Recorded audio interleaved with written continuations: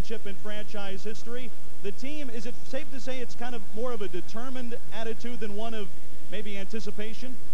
Well, all season long, Ed, uh, every day before we go into a game, we believe that we can win. And the guys today on the bus, it's just a calm, quiet uh, belief in themselves that they can win tonight's game. And uh, they're not too excited. They're ready to go. And you're right, they're very determined to win tonight's game.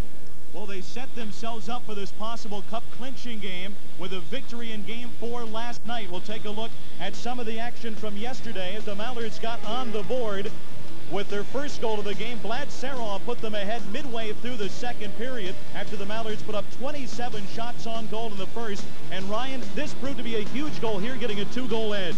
Well, we couldn't get that two-goal separation on game three, and that could have cost us the game. Here, Hugo Proulx scores one of the biggest goals all season long for us to make that 2-0 uh, cushion. This goal proves to be the game winner. Martin Hlinka with his first goal of the playoffs with the Quad City Mallards puts Quad City ahead here 3 to 1 and the Mallards took a two-goal lead back. Here is Jason Ulmer, the first of his two goals on the night. Ryan, this kind of capped it off. Well, again, on the power play, if Asheville wants to play as undisciplined as they have, eventually we're going to strike, and there we were, Jason Ulmer with his first, and there was his second goal. For the Quad City Mallards, with a huge effort, especially from the outset with 27 shots in the opening period. You see the shot total for the game in game four last night. A big game by the Stars. Vlad Serov with a goal and two assists last night. And defenseman Kelly Perreault with three assists in the contest yesterday. The Mallards really controlled the tempo from the outset last night, Ryan. Can any team withstand that same kind of onslaught two nights in a row? Well, I, I certainly hope that uh, Belecki won't be able to stand up to as many uh, shots as he did last night. Uh, the key is, again, getting out very early, getting shots early in the first period, getting that pressure that we had last night, and just attacking from the, from the opening drop. We had a chance earlier to catch up with the head coach of the Mallards, Paul MacLean, and get his thoughts on the keys to Game 5. Well, we certainly expect them to make some adjustments after the way we started the game last night. We really came out and established our pursuit game early and uh, put a lot of pressure on the net and put a lot of pressure on Belecki to make some saves, which he did. But uh, you know, we, we got to establish our game early, and uh, again tonight we're going to have to. Whatever team seems to establish their pursuit game first seems to have the most success, and uh, it'll be very important for us to try to do that again in the first period tonight. Well, anytime you face an opponent that's facing an elimination and they're as good a team as the Asheville Smoke, you have to expect their best game, and we have so in inspecting their best game, we have to make sure that we come and play our best game, and our best players have to be our best players, and uh, we have to prepare to do whatever it takes to win because the team is desperate uh, as a team that's about to be eliminated, especially at home, and uh, we have to make sure that we exceed their desperation level. We have to want to win the cup more than they want to keep it alive. So the Mallards take in a three games to one series lead into the matchup tonight. Ryan, game four, a fourth win in the series, always the toughest one to get, but Asheville's been great at home all season. Know that in the last game of the year for them on home ice, going to be a tough one for Quad City. Well, you know, I think Coach MacLean hit the nail right on the head when he said that we have to want to win the cup more than they want to keep it alive. Uh, we do have to play desperate tonight, and hopefully that belief in we've had all season long will come to the forefront tonight, and we can wrap up things tonight here in Asheville. We'll see what happens. Game five of the Colonial Cup Finals coming up. The Quad City Mallards at the Asheville Smoke. This is Iowa Wireless Quad City Mallards Championship Hockey.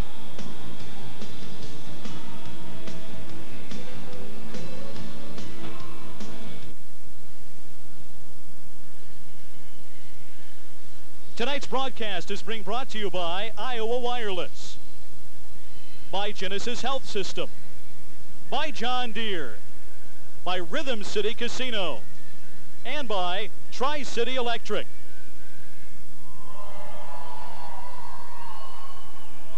Welcome back live to the Asheville Civic Center in Asheville, North Carolina amidst the great Smoky Mountains. We are set for game five of the Colonial Cup Finals. There you see the Mallard starter in goal, Joe Demoline. He's won five of his starts in the postseason, bringing in a 217 goals against and a strong save percentage at 922. He makes the start, making back-to-back -back starts here in games four and five. Brent Belecki goes for Asheville. Has been outstanding in the playoffs. Shellacked for 57 shots against the Mallards last night, but a 7 and 3 mark. A 260 goals against average. Steve Moravsky, who worked game three of this series here in Asheville, will work the fifth game. His linesman, Doug Wood, and Jason Rollins. Here we go, game five of the Colonial Cup Championship Series. The Mallards with the starting line of Martin Hlinka at center, Hugo Proulx on left wing, Mark McFarland on right wing, Freddie Joban and Dan Bjornley, the two defensemen for Quad City. You see in the center face-off circle, Derek Kremen taking the draw for Asheville. He will have Bogdan Radenko and Olaf Jenstedt as his line mates. Bob Raposa and Ryan Akiel work the blue line for Asheville, and we are underway. Mallard to the puck in their end. Jobin sends it up the near side, but it's recaptured by Asheville. Raposa sent it forward. Jenstedt trying to control it, but it's whistled for offsides as we are just underway.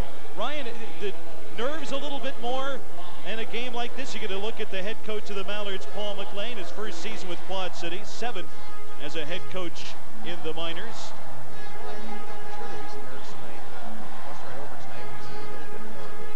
calm than usual, but I think that was because it, it could have been the, the calm before the storm, if you will. Uh, but watching the guys in the tunnel before they came out, the guys were bouncing around and jumping up and down, and it looks like they're uh, definitely experiencing a little bit of nerves. So let's see how we uh, settle those down in the first couple minutes here tonight.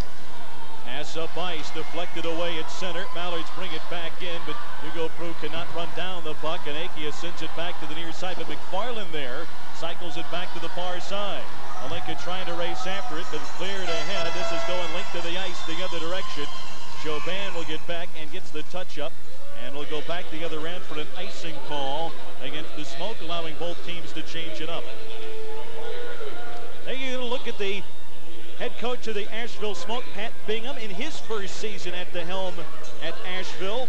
Also serves as a GM for the franchise and has really rebuilt this team. Last year they had uh, Keith Gretzky, actually both Gretzky's part of this franchise last year, and they've completely rebuilt it and gotten to the finals.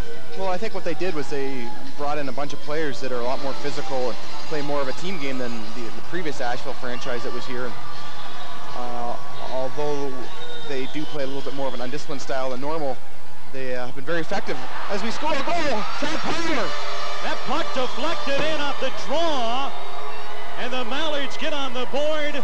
45 seconds into the game, Quad City takes the lead. Chad Power with his fourth goal of the playoffs. Ed, last night we talked about how important Harold Hirsch is on the faceoff. Here he is once again winding up in the offensive zone, winning a faceoff right to Chad Power, who gets the shot away. Fortunately for us, it was tipped and ended up just floating over the top by Belecki. As you see it, looked like it hit Colborne. But here's that big face-off again by Harold Hirsch. And fortunately enough for the Mallards, we ended up getting a lucky bounce off of Colburn, but nonetheless, it all starts with that important face-off win. The Mallards score with 19.45 to go in the opening period. Asheville fights themselves down one early. Smoke at their blue line, look to work it in. Watson sends it over to the far side. Paul Johnson chips it off the far boards. And again, it's control. Watson's pass intercepted. Here come the Mallards the other way. Harold Hirsch leads the charge. He'll dump it in. Bounces back to Belecki's right. And they'll sweep it linked to the ice again. Goulash going back. It's the touch up, an icing call against the smoke. What a blow that has got to be for Asheville. And Brent Belecki, because he's been so outstanding in the playoffs, let one in like that, it's got to get to you, doesn't it? Well, I think I think for sure Brent Belecki has played uh, unbelievably so far for Asheville in this championship series. It's just one of those unfortunate bounce for him that happened to hit a player and go in the net. It reminds me much of uh, Game 3 here Monday night, in which we surrendered four goals, and each one seemed to come on a sort of a lucky bounce for Asheville. So hopefully tonight, with that same referee that we had from Game 3, maybe we'll be getting those lucky bounces tonight. Ulmer on the draw this time with Gibson and Serov as line mates. They send it over to the corner. And there to get it is Alex Dumas, who clears it away. Gulash back to get it for Quad City. Check but the Mallards may or get control back. Gibson near side. The captain sends it up ice for Serov. Serov trying to get room. Played off the puck in the corner and it comes all the way back near side. Again rolling near length of the ice. Gulash will get back for it. Sends it back along the near side. Ruud, though, knocks it down. Ruud, their leading goal scorer in the playoffs. It's centered out front. Rolls in on Demoline and makes the save on a shot by Vitali Andreev. Well, Ed, I don't know if tonight we're going to be coming out as, as fast and as furious as we did the previous night, getting 26 shots in the opening period. But as long as we continue to contain Asheville in the offensive zone, as we see our defensemen here doing a great job, really nothing there they got a weak shot on goal, but in essence, it's uh, very easy for Joe Dimline to stop it. As long as we can continue to play that sort of way in our own end, we don't need the 26 shots offensively to, to win this game. Drive for the right point. Deflects back on Demoline and makes the save an Akia's drive. It'll look at the Mallards netminder acquired in February in a trade that we talked about for a long, long time. Rick Emmett, a longtime Mallard, part of all five 50-win seasons and had a pair of rings traded for a very popular figure in Muskegon and Demoline who won a cup with the Muskegon Fury in 99. The face-off, it comes to Akia. Shot from the point, saved Demoline, nose to the right side, and Raposa sends it to Genstead. Crimmins checked off the puck. And Raposa holds it in. Here's Proulx on the far side. Will send it out. Finds Hlinka at center ice, and it's whistled down for the two-line pass. Played almost two and a half minutes in Asheville, North Carolina. And the Mallards out in front 1-0. You see Pat Bingham, as we mentioned earlier, rebuilt this Asheville team. They're in their first final in the Asheville, North Carolina era of the franchise. They moved here three years ago. Their second championship series in team history overall.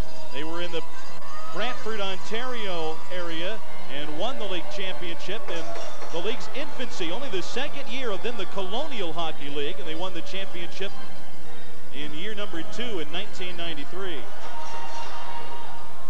The 10th year anniversary of the UHL. And there's an injured player off of the draw. Delayed penalty call coming. The Mallards are fuming. Swungstus touches up, and you're going to see something here, Toporowski having to be restrained by his teammates, then takes a shot from Benefield. And down in the ice is Harold Hirsch. That came off a face-off, and Ryan Lindsay, they've looked at this all series long. There's been some stick work off draws, and the Mallards have a man shaken up as a result. Well, it's it's never a thing to see here, and especially in a final round series. But the Asheville Asheville team just seems to be killing themselves with penalties here. Get another look. Watch this. Watch the stick off the. Oh, it's a hand to the face. He punches Hirsch in the face, and you see another stick come in there as well. But it's Bruce Watson that goes to the box, and the Mallards have a power play. It's only a two-minute penalty. And rightly so. I believe it's only a two-minute penalty. Uh, Harold Hirsch, he's been one of those guys, a thorn in the Asheville side all series long. And as long as he continues to, to do that and drop penalties, you know what? We'll take 16 power plays again tonight if we can. there are a whopping 17 of them in the second game, which was unbelievable, especially the way game one was tightly played. And they really didn't give themselves much of a chance in the second game of that series on the road. Mallards won that easy, 5-1. Not necessarily easy, but 1-5-1. Smoke got to within a goal in that game. It kept taking penalty after penalty. You thought they were going to stop after a while, never did. Mallards on the man advantage. Power play. Clicked last night. They had a pair of power play goals in yesterday's game. On the near side, it's tied up in the corner. Smoke looked to clear. Gulash got a stick on it, but couldn't hold it up, and it's actually played with a high stick. And that'll bring it back out to neutral ice. The Mallards last night on the man advantage were two for nine. Good to see, Ryan. The power play, I know, has not necessarily struggled in the playoffs, but not quite where it was in the regular season. That's exactly what we tried to work on all week long when we were in Greenville. Just getting more pressure at the net, trying to give Belecki a little couple different looks here from the points and shots. So, uh, you know, even though two for nine isn't absolutely terrific, it's still timely power play goals is, is the key in this championship series such as this. Face off back in the Mallards end. Sent over to the far corner. Ginstead trying to race for it. But Serov able to play it away from him, and now Perreault sends it up ice. Here is Jason Ulmer, the Mallards, rookie out of North Dakota, sends it in behind the net. Serov ridden down from the play from behind by Crimmon. Perreault holds it in left side. Gibson going after it, comes near side for Serov, who gets a shot away, bounces right of the goal and in behind the net. It's swept out, linked to the ice. Mallards regroup, 60 seconds to go on this power play. Serov racing after it, but Akia sends it up but not out of the zone. Goulash put it wide. Here's Perreault to hold it in, but it's chipped out of the zone again by Asheville.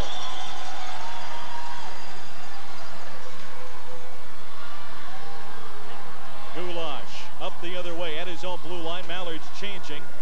Proulx corralling the puck at center ice, sends it back to Gulash, and he'll send it into the right corner. Up the near side, cleared again by the smoke. And the Mallards look to regroup once again. 25 seconds to go on this man advantage. Here comes Proulx, fought around a defender, worked his way to the left wing, drops a pass off, backhander hit a post, deflect to the right side. Hlinka finds a Proulx and a shot denied, sent back right side. Hlinka up out front to Jobin, sends it in front. Three seconds to go in the power play. Time winding down on it.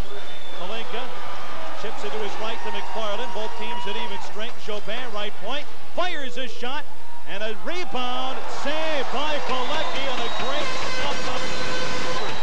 Well, he's performing miracles again tonight, Ed. That was a terrific stop as the Mallards sustained pressure after getting the man advantage. Here's another look at this stop and a great glove save. Well, Freddie Jobin gets the original shot, and the rebound ends up coming right to Hugo Proulx, who absolutely rips it. Belecki with that big glove hand. Another look Takes again. away another sure goal. He's playing well, and he's the reason that Asheville's still in this series. And McFarland going across the crease there for a little screen, a Jobin shot. Kept us cool through that. Mallards out in front, 1-0 on the strength of an early goal. 15-19 to go first period. This is Iowa Wireless Quad City Mallards Championship Hockey. Back. The Mallards out in front, one to nothing, as an early goal tipped in, and 45 seconds deep into the game of Quad City ahead, one nothing. Mallards lead this best of seven series, three games to one. And I believe that Harold Hirsch is heading the penalty box here for the Quad City Mallards. I didn't exactly see what happened, but nonetheless, I believe we'll be down two two minutes here. Yep, Hirsch goes to the box.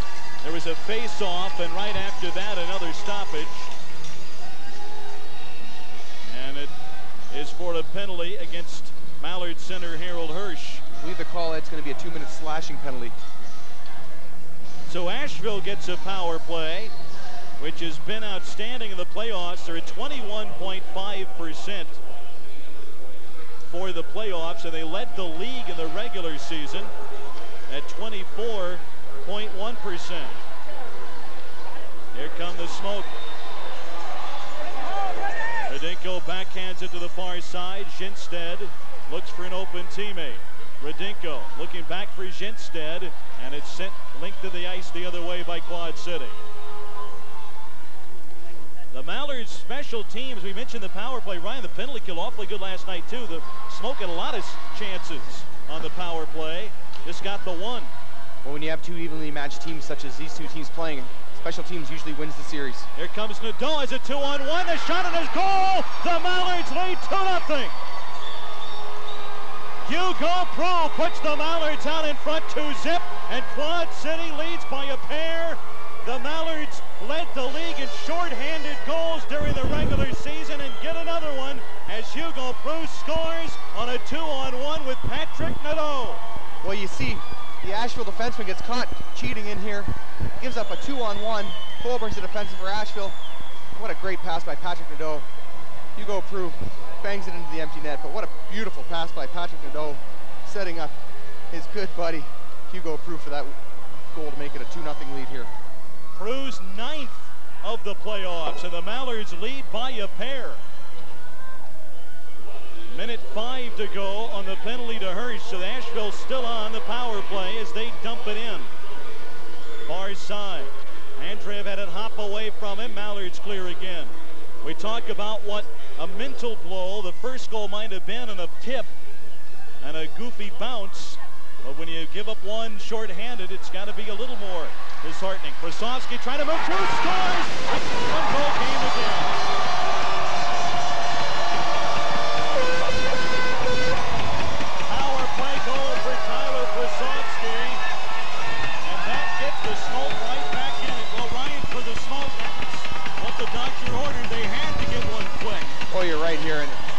Of a good team.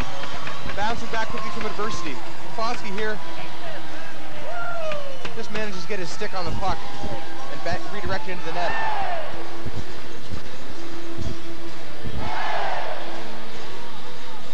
So they get back the short-handed one. That is his first goal, second point of the playoffs.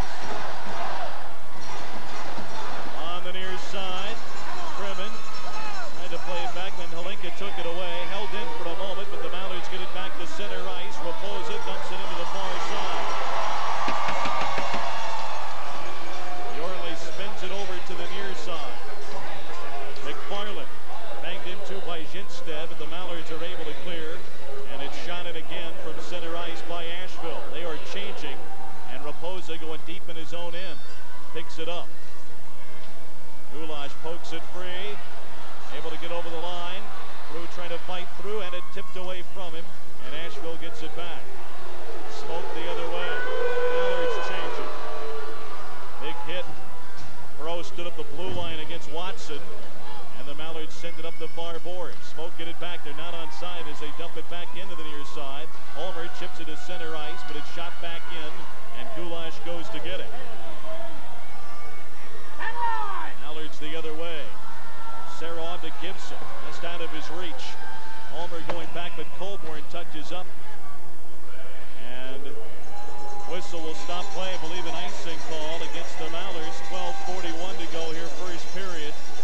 And the Mallards have a draw coming up at their end of the ice, leading 2-1.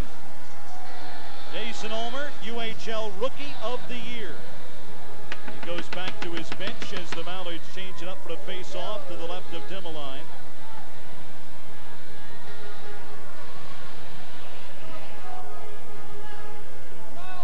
Coming up. Hirsch and Ruud head-to-head -head on the face-off. And the Mallards have it back to the corner. Krasovsky and Toporowski battling for control of the puck. Along the boards. It is deflected out in front. Mallard's trying to clear it, and it's sent back out near side. A cleared ahead. Dumped into the right corner, and the smoke trying to send it out back near side. Okay. The whistle and the face-off coming. 12-18 to go in this first period. Mallard's forward and rookie. Peter Armbrust, another North Dakota product, teammate of Jason Ulmer last year. Army won a championship a year ago. North Dakota, the NCAA champs, twice during his four years. Well, that's why Howard Cornfield will bring in a player such as Peter Armbrust. He's a great character guy, uh, and yet he knows how to win championships. That's what reason he's on that bench right now. He's out there every shift playing with his, all his heart and soul. And that's why that's the type of guys you need to win championships. Allards control the draw. Here's Bjornley, sends it up the far boards. Got crunched and a penalty coming. Bjornley shaking a bit, and a whistle will stop play as Bjornley got run into the boards, and he is bloody. That was an absolutely vicious looking check. I didn't see if it was an elbow, or a high stick, or what it was. The hands were high. We'll see if we can get another look. And here it comes. Oh, that's Jenstead terrible. That's a terrible play. Number 61, yet Jedstead. Jinstead. And it looks like it's actually Dan Bjornley's head that's been cut open down there. That's just, there's no room for that.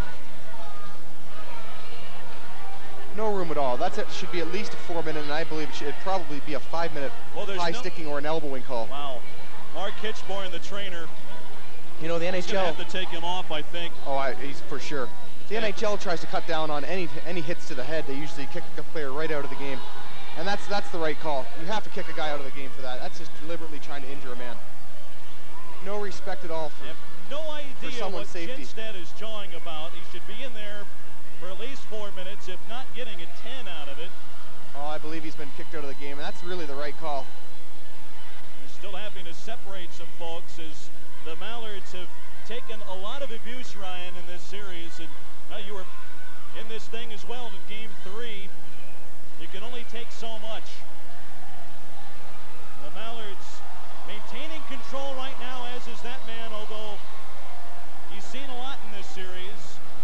That's been more than just a little irritating as Ole Jinstead heads out. He got a game misconduct.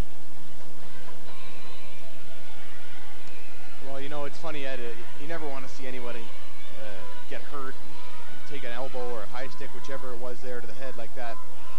But I know the guys on the bench right now, they'll gladly take as much as they can take as long as we can win a championship. Another look again. Elbow It just drove Bjornley into the glass. And, and it turns out, Ed, to be a five-minute elbowing call, Wow. which with it, I believe, will come a game misconduct. But that's really the right call. You can't allow players to be taking runs at players like that. Any number of things could happen there. Concussion, who knows? Well, that's one of the reasons why they've wanted to clean it up. The rash of concussions that have happened over the last several years. And, but uh, that has not been atypical of the way this uh, series has gone. There's been a lot of hits like that. But that was one of the worst, at least it did some of the worst damage. As you saw Bjornley badly cut and had to be helped off. They were using the whole towel on Dan Bjornley and hope that uh, he is okay as Mark Hinsborn attends to him.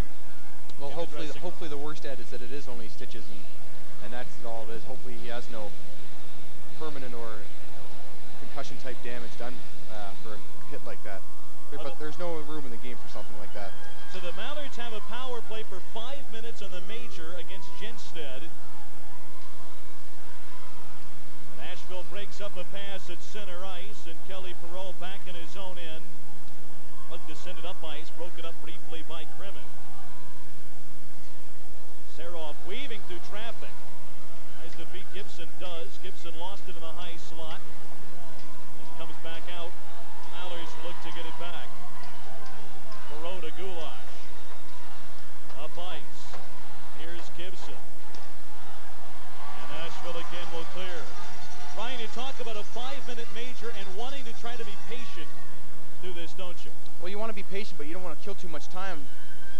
The, beautiful, beautiful thing about a five-minute major is that you can score as many goals as you as you can possibly muster into the net without the time expiring. So, you know, you want to be patient, but you want to try and take advantage of that five-minute major as well, and, and hopefully get two or three goals while, while you have the chance. Perreault.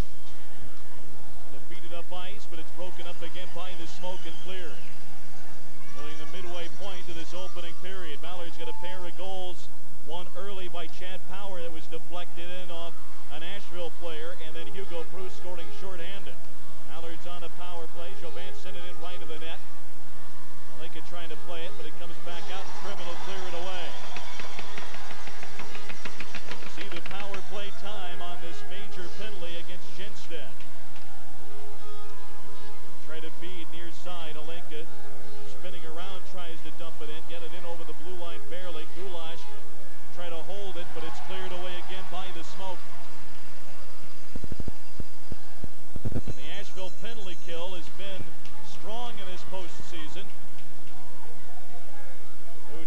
flip it to the near side, and a whistle will blow the play down off sides with 10.06 to go here in this opening period. Asheville penalty kill for the regular season was fourth best in the league, and in the playoffs they've been at around 90%. Well, they've been very good in this series so far. And, you know, especially in this arena, it's very hard to set up your power play as an opposing team coming in here. It's so small that any missed passes or, or slightly bobbled passes offensively will be jumped on quickly by the Asheville team and shot down the ice. It's very important when you're when you're playing such a small rink to make sure every pass is crisp, hard, and on the tape, as to avoid any uh, any bad passes in which the Asheville team can pounce on the puck right away. They've got Blue Benefield now in the penalty box serving the infraction on Ginstead. Smoke clear again. See the Mallards in the power play for the playoffs now at 15.8%, getting a five-minute one here. And it's their second man advantage of the game. Rolls around to Hirsch near side. Howard trying to find Nadeau in front. And it comes back along the near boards and cleared again. Quad City regrouping. Kelly Perreault, three assists in the game last night. Off to Goulash, who will dump it in behind the net. Nadeau to Perreault. Perreault sends it in front off the blocker of Belecki back to the far side. Asheville intercepts far side. Again, they'll clear length to the ice. Mallard's the other way. Serov with a shot. That deflected off Belecki. Perreault sends it back in. Here is Serov again. Trying to center out front. Gibson shoots. He scores! Steve Gibson, the captain, puts the Mallards ahead by two, three to one, a power play goal, and the Mallards lead by a pair. What a great shot by Steve Gibson, pouncing on a loose puck in the slot area. I believe that Vladdy Serov was actually trying to go through the crease to Frederick Jobin standing off to the side of the net when the puck was broken up and right on the tape of Gibson. You see the goaltender, Belecki, watching for the pass. It bounced in front. And that's exactly what happened. Steve Gibson right on the doorstep, ready to pounce on any loose pucks. And he buries another one top shelf. How many times have we seen him do that this year, Ed? That was a quick trigger on that, too. Ulmer will get an assist. This the lone assist right now for Ulmer. As the Mallards move it back in, still on the power play. A turnover. Here come the Smoke and Ruitt trying to get around the defender. Shot it wide. And the Smoke try to hold it in. But it's cleared back up the far side. Allard's dump it into the right corner. Off on the far side, Radinko. Is it taken away from him by Serov? Ulmer sends it in front, and it's cleared by Radinko over the blue line. Gibson's got a quick trigger, doesn't he? Oh, every time he gets that puck in the slot, he's got a cannon from that area, and it's it could always go in the net. Just a quick, quick shot once he got that loose puck in deflection. Mallard's still on the man advantage, though, on the five-minute major against Ginstead. Still have 40 seconds to go on this power play. Andreev intercepted. Mallards get it back. Goulash works it ahead. And now along the near side boards, McFarland sends it over toward the corner, but cleared again by the smoke. Now the Mallards now put a two-goal lead back here in Game 5 in the opening period of play. Toporowski near side. And to send it to the wing, gets it back along the point. Now Proulx goes in behind the net. McFarland battling Dumas, gets it in the corner. Trying to send it in front, bounced off of Tom Wilson. And along the left point, Goulash will hold it in. Save made by Belecki to stop the clock. Mallard's out in front, 3-1. Quad City with a two-goal advantage. This is Iowa Wireless Quad City Mallards Championship Hockey.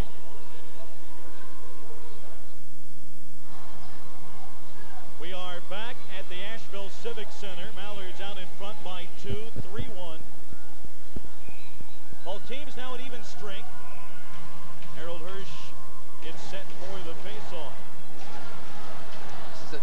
The same setup that scored the first Quad City goal here. Two men in the slot here. Armbrust in the slot with Power behind him. Back to Power, couldn't get a shot this time, and Asheville will take it out of their zone. Paul Johnson picks up the far side. Hirsch chips it out of the zone, got hit hard from behind. Asheville back at their own blue line, trying to get something going. Toporowski breaks up a pass, and Armbrust will dump it in. The net, Ryan Akia. He looks to send it up ice. Here come the smoke the other way. Benefield got caught off sides. Mallards again held their ground at the blue line. Mallards with a two-goal lead. Out in front, 3-1. This is Iowa Wireless Quad City Mallards Championship Hockey. Tonight's game brought to you in part by John Deere. A thank you to John Deere for making these broadcasts possible back live to the Quad Cities. So thanks again, John Deere, for sponsoring the telecast and for being a corporate partner of the Quad City Mallards for now six seasons. Face-off coming up. This is at the Mallards into neutral ice. Face-offs even at this point. Will the Mallards win this draw? Gibson tries to work it in. Perreault hits it back, sends it forward, and it's carried in offside. Face-off's a key, Ryan, because in the two regular season meetings, that was one big standout that Asheville was able to uh, control the face-offs, both in this building and at the game at the Mark back in February. Well, a lot of a lot of things are made up about the face-offs. Sometimes you think it's just a meaningless part of the game. In your actuality, a team like us, we want to win as many faces, face-offs as we can because we have such mobile defensemen that they really start a breakout from any part on the ice. So if we can win as many draws as we can, gives our defensemen more chance to handle the puck, which in turn will give our forwards better opportunities to score goals. It was surprising in those two games because as dominant as the Mallards have been at times in the on face-offs, there was one team that had their number in a couple of games, but it hasn't necessarily been the case here through the finals. Puck sent ahead along the far side and into the seats up the far side to stop play. Mallards out in front, 3 to 1. Buell, Fire Desire, 2001-2002 Mallard season tickets are now on sale. You can beat a price adjustment for next season by purchasing your Mallard season tickets for next year now. It's not too late, folks. You can call the Mallards office at 309-764-7825 for 2001-2002 season tickets. Here's a face-off to the right of Belecki. Comes back out to the left point. They try to beat Jobin. Pass broken up. Raposa the other way, and it knocked off his stick. Kremen trying to play it ahead. Mallard's trying to get on side here. Jobin at his own blue line ahead to Hlinka. Now Proulx trying to work through traffic. Couldn't get around Colborn, who chips it up the far boards, and another Mallard gets hit. The play will continue there's a shaken up Quad City player. I believe it's Hlinka that's down, and he is now up on his knees. Well, unfortunately for us, Ed, I think that that might have been the stick of Paul Johnson that ended up catching Martin Hlinka uh, in his face there. There was an Astro player around, but I think when Paul Johnson went to hit the opposing Astro player, he might have caught Martin Hlinka by accident in the face with his stick. Another look, yep, there it is. Yeah. Thankfully, it looks like Martin's okay. Paul Shake that Johnson. off. Paul going. Johnson's going to be a doctor anyways. We'll see if he can fix you right back up, Marty. Maybe he was trying to give him a little cut so he could try and stitch up himself. Who knows? A little practice for the future. And the good news, Solinka able to shake it off. Mallards with a new group out there will take a face-off. This will be at the Asheville end of neutral ice.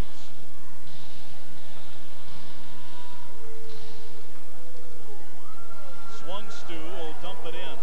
Mallard's back for it. It comes out of the zone as it gets by Muldoon. And the Mallards dump it the other way. Perreault will dump it in and run into by Swung Stu, and it's taken back by Asheville from the corner. They work it out of their zone. A blast one in from center ice. Dimmeline there to stop it. A little pushing and shoving there in front of the net. Swung Stu chopping down on top of Rowski's stick. A fuel fire desire. It's what it takes in the playoffs. The Mallards 2001 playoff souvenirs are now available. Visit the Mallards Nest in downtown Moline for Quad City Mallards playoff souvenirs and Colonial Cup Finals merchandise. Mallards trying to gun for the Colonial Cup championship here tonight, leading this best of seven series, three games to one. They can close it out with a victory here on the road against the Smoke, and they lead 3-1. With 5-11 to go here in the opening period. You know, Ed, it's funny. As I watch the NHL playoffs here, as, as our playoffs have been going along, whenever there's a little stoppage of play in front of you, either end, either uh, goaltender. You know, there's, there's not all that pushing and shoving and garbage here that Asheville seems to want to play. It's just, to me, it's just there's no place in, in the game for it. It just, it absolutely ruins the game. Seen it all series. You see the advantage for the Mallards in the shot department. They'll try to dump it forward. Andreev sends it in. Dimoline slows it down behind the net. Gulash tries to work it out against Ruud. They get it back. Andreev trying to send it back, but Gibson will take it away. Has Serov with him, but can't move it in. Ulmer will dump it in, though, from outside the blue line. And Dumas goes back to get it. Andreev now at center ice, looking for a teammate as his team is changing. It's dumped back in. Gulash from behind, the own, uh, behind his own net will start it up ice the other way. Goo. Up near side as McFarland tried to corral it. Able to center. Now left side, a shot. Save made by Belecki. What another big save. We haven't really tested Belecki lately, but that was a nice big save that he uh, came up with on that play. As Hugo Proulx was bearing in on him. Martin Hlinka with a great little pass to him here. Sends Hugo in in a semi-breakaway, and Belecki comes up big again. We haven't tested him a, a, lot lately, have we, out there, Ed? Not a lot of shots, but a little quiet, a little bit of a lull over the last several minutes. 4.11 to go here in the first face-off in front of him again. And the Mallards to keep it in the zone. Radinko trying to get it out of there. Adelon at center ice, brought in. Again, Radinko fires a shot blocked by Johnson. And sent up ice by Toporowski. That may have gotten its way into the seats with 3.57 to go here in this opening period. Now you can sign up to be a part of the Mallards team next year with a corporate partnership with the Quad City Mallards in 2001. Call 309-764-7825 for information on how to be a part of the Mallards team in the 2001-2002 season. For corporate sponsorship information, again, contact the Quad City Mallards at 764-7825.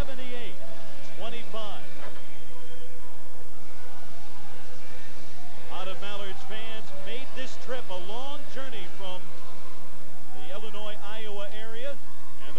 Cities along the Mississippi River to North Carolina and the hills of the Great Smoky Mountains. A lot of Mallards fans here. One fan estimated it was in the neighborhood of about 300 that are wearing the maroon and green. Wow, it's an amazing sight to watch. As I said last night on last night's telecast, you know, just the fact that we had one or two people come all the way out here and show up is amazing. I can't believe how many people are here. It's, uh, you know, I, have talked all year about how great it is to play in, in Quad Cities and have the fans that are actually there cheering for us. But when they actually come all this way to, to cheer us on and give us a little extra support, I tell you, the guys down that ice, uh, they really appreciate it. It's an amazing sight. There's a lot of Mallards fans that are right behind the Asheville bench. no place I'd rather have them, Ed. kind of rub things in a little bit. Face off to the right of Dimoline here. And Bruce Watson in the draw. And the Mallards will control the face-off. Perreault and Benefield doing a little jostling behind the play as Asheville will send it back in. Chauvin up the board. The hitting starting to pick up a bit from Asheville's side. Still looking to try to uh, make some big hits along the boards as play continues on. Watson kicks it up the far side. Power trying to play it ahead. Finds who chips it over the blue line. Benefield and Perreault still jostling behind the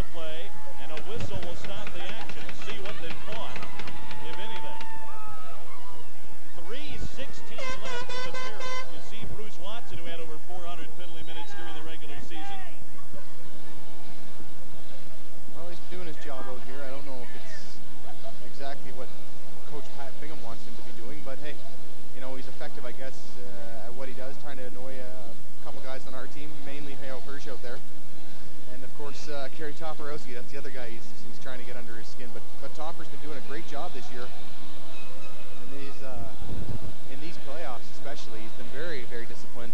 55 penalty minutes uh, so far this season. Still, he, or sorry, in the playoffs. This championship series, he's turned his back on, on almost everything, and that's that's the mark of a, of a disciplined team. sometimes they say, you know, being tough is putting up all those penalty minutes, but tough, uh, tough in a championship season, uh, sorry, a championship season is some, sometimes turning the other cheek and taking that punch to the head and, and doing it for the, for the goodness of the team. That's playing tough too. And, and the penalty minutes, while there's something you can talk about and, it, and something that kind of shows sometimes the toughness, it kind of makes him a little underrated in the defensive skills that he does bring. He does bring a lot. You have to play in this team. You have to, do a lot. You have to have a lot of skills and a well-rounded hockey skills to be here, don't you? On the far side, Prasovsky battling for the puck as it comes back out. Andreev tries to bring it in. Serov plays him off the puck. Big collision there. They topple to the ice. And Toporowski from the crease trying to send it out. And again, Prasovsky and Johnson battling near the net. Over in the corner. A battle on for the loose puck again. Toporowski has it tied up, kicks it ahead. Now Ruud with his stick on it. Trying to play it up the far boards, and Serov will chip it away. And has a two-on-one with Gibson. Serov to Gibson, fires his shot, and it's high and wide. And out of play with 2.21 to go in this first period. Oh, there's Gibby again, standing sort of in the slot area. Hey, every time he gets the puck around there, he's a threat. We already saw him put one top shelf earlier today. And again, he gets another good chance. Unfortunately for, for Steve, I believe the defenseman slid in front of his shot, so we had to go very high with, the, with his attempt, and it just ended up being too high. You look at Serov setting him up. With the defenseman sliding like that, Eddie had to try to lift it over top of him. 13 assists in the postseason coming in, led the team. He has a, a goal already tonight. That put the Mallards ahead 3-1 That on a power play. In behind the goal. Asheville looking to clear their own zone. Mallards dump it back in the other way. Brett Colborne. Haven't seen him possession of the puck much tonight. Gets into center ice, and Kelly Perreault takes that away. Perreault back to the near side. Colborne is surprisingly quiet. Center ice, it's tied up there. And dumped ahead. Goaltender. Belecki had to come out of the crease to play it. Near side, they try to feed Raposa. He'll dump it into the far side where Proulx there waiting for it. Sends it up to center. And it's brought in offside. And Benefield knocks Perreault in the head. And this will get talked about. They'll come together in the corner. They'll separate that duo with a minute 35 to go in this opening period. I believe we're going to have matching minors here to Benefield and McFarland. Now, once again, you can sign up and be a part of the Mallards team with a corporate sponsorship. Call 309-764-7825 and take part in a lot of fun Quad City Mallards packages for the 2001-2002 season. Great promotions, as well as some great exposure opportunities and a whole lot more. Quad City Mallard sponsorships. Mark McFarland in the box for Quad City. And in the box, Benefield for the smoke. Well, matching penalties, as you mentioned, Ryan, and Mallards try to protect the 3-1 lead. Benefield is going to go ahead and go off with less than two minutes on the clock. Roughing minors on both, as Benefield will take an early exit to his dressing room.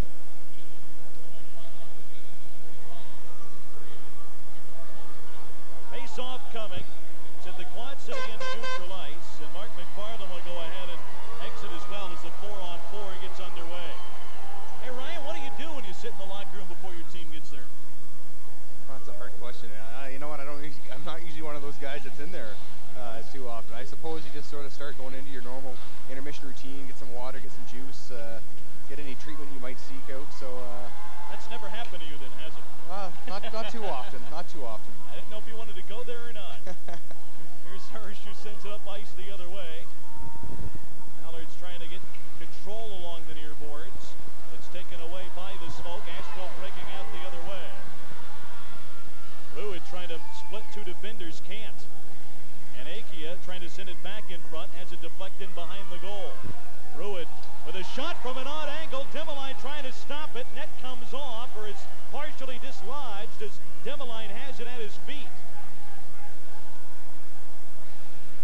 That was a scary moment there for a second, Ed. Boy, Ruud from a weird angle in the corner, able to send one on net and almost found its way through. Here's another look. At the confines of this arena are so that the, sometimes the goaltender, it, it, it's a lot harder for him to get his angles correct. We saw last game uh, a couple of, of weird goals for Asheville in uh, Rudenko's goal and Crimmins' goal where they just sort of threw the puck at the net and it just sort of found its way in. A lot of times it's hard for a goaltender to come here who hasn't played here all year long and find his angles as the arena is that much smaller and uh, therefore he can't find himself square to the shooter in the same spot as he would in, in let's say, a bigger arena. Mallards control the puck behind the Ash or behind their own net as Perreault will start it up the other way. This rink is listed at 185, but I'm not too sure about that one. It looks like a much smaller and tighter surface than the mark, which is 185. Gulash gets an icing call. And he'll back the other way for the faceoff. Look at the head coach of the Mallards, Paul MacLean. Only one season at the helm with the Mallards, Ryan, but well, what an impression he has made in the fans in the area. Oh, it's amazing, you know, as you see a sign of uh, of him up there, it's uh, it's amazing, you know, it's what this team needed, it's what this what this city I think needed uh, in the fact that you know he was a no nonsense type head coach. Uh, he's he's treated us with with great respect all season long. And in return, I think the players have given that respect back to him and performed very well for him. Get a look at what his uh, his NHL career, his stellar NHL career that included an NHL All-Star game in the mid-'80s as well while with the Winnipeg Jets. Radinko looking to bring it out. Radinko, a former Mallard, hits it across center ice and checked as he brought it in, and Ulmer gets the loose puck. Serov trying to backhand it out as it knocked down. Kremen can't get a shot away, and Perreault steals it. Up ice finds Serov. Serov in over the line. Sights him the defender. Lost the stick, but kicks it on net. And it's picked up by Alex Dumas. Sends it up the other way. Deflects off the far boards. Closing seconds of this first period. Gulash will run out the clock to Perreault. And that'll do it for the first 20 minutes at the Asheville Civic Center three goals in the opening period for Quad City, Ryan, as the Mallards have a 3-1 lead at the end of the first break. An early goal, the Mallards maintaining that two-goal margin at the break, Ryan. Well, we asked, uh, you asked me earlier in the telecast, Ed, if I thought there'd be some nerves out there, and I think perhaps that goal by Chad Power, 45 seconds in, may have calmed a lot of the nerves uh, on behalf of, the, of my teammates. So, uh, you know, it turned out to be a pretty good period for us. Hopefully we can continue in the manner that we've been playing and stay out of that penalty box and keep that offensive Quad City will head to the dressing room. You see there, their 3-1 lead at the first intermission. Back with an intermission report. The Mallards up 3-1. This is Iowa Wireless Quad City Mallards Championship Hockey.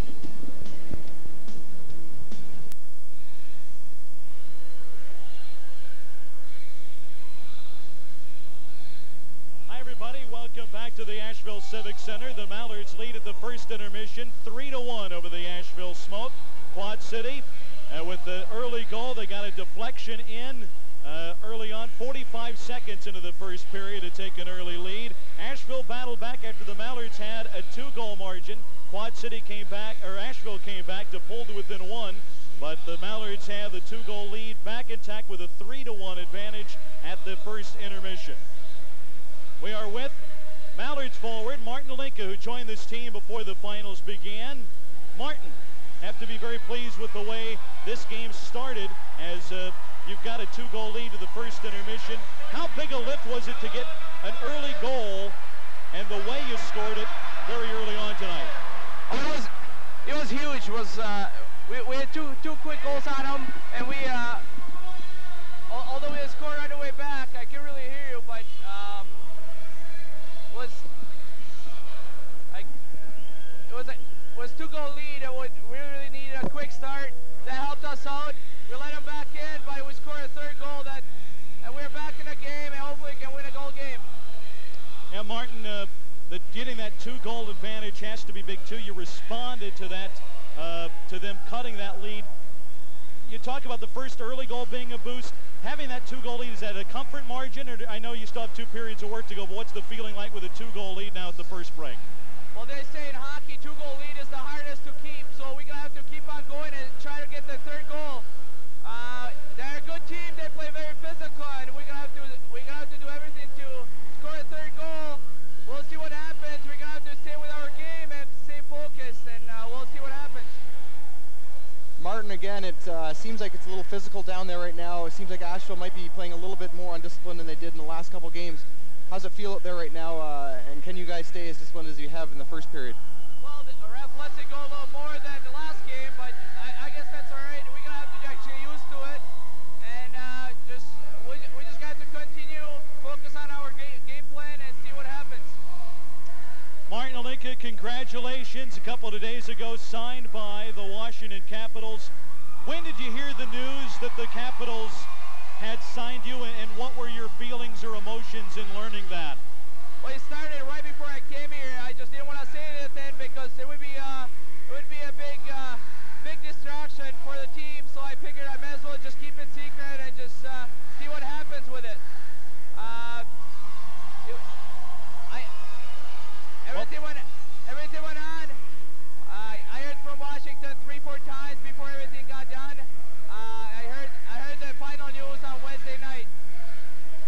Hlinka, congratulations on that on behalf of us and all the great Mallards fans, and thank you for the visit. Thanks a lot.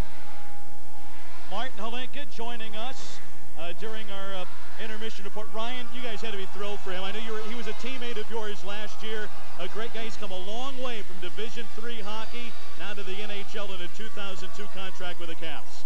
Well, he, he certainly has come a long way. It's uh, it's amazing to see uh, just how, how far along he's developed his skills.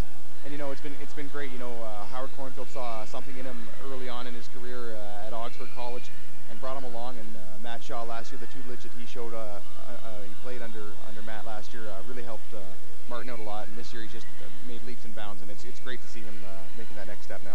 Martin Hlinka, a big key last night, including the game-winning goal as the Mallards took Game Four last night. They lead Game Five, three to one here at the Asheville Civic Center. We're back with more of our intermission report and a conversation with the commissioner of the United Hockey League after this commercial break. This is Iowa Wireless Quad City Mallards Championship Hockey.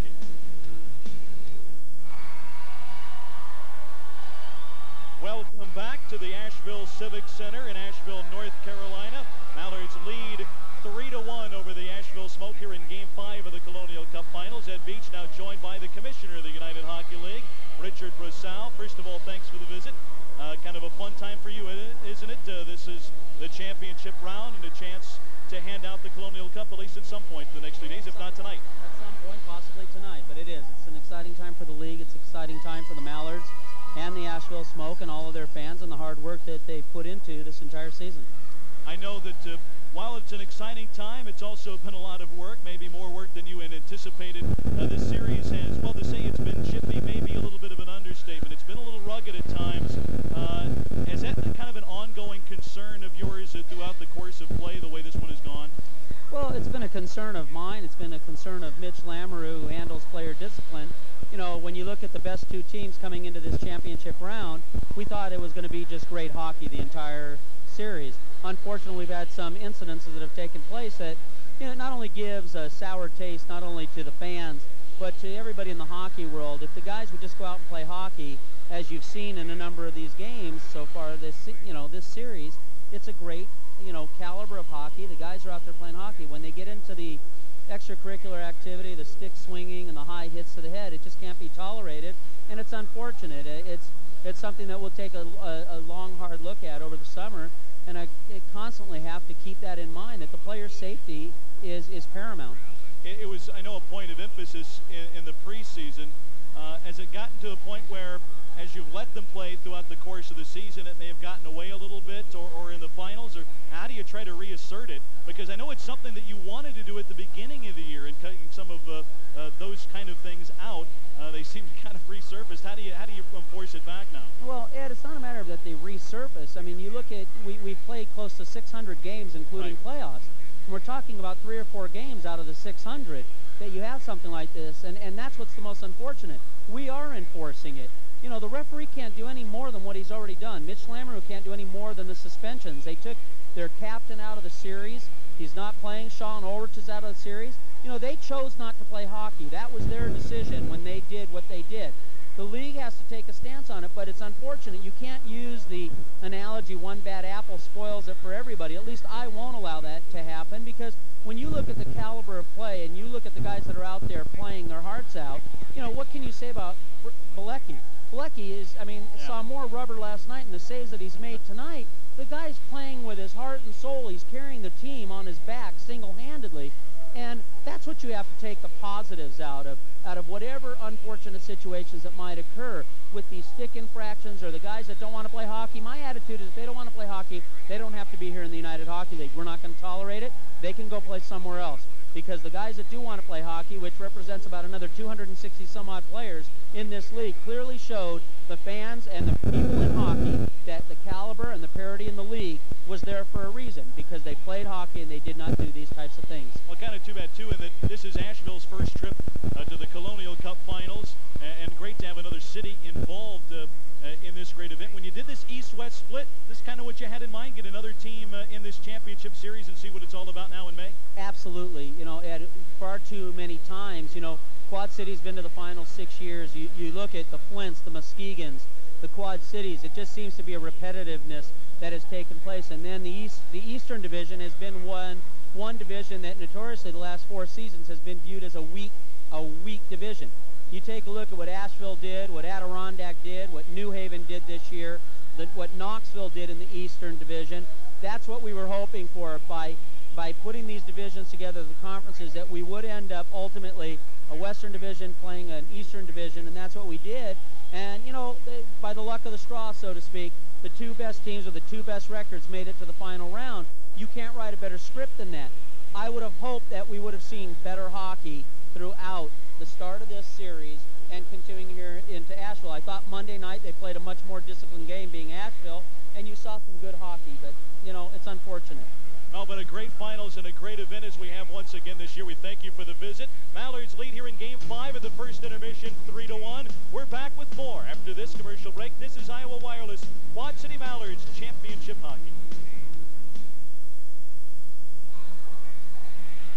We are back. The Mallards out in front, three to one, as the Mallards uh, have a two-goal lead at the first intermission.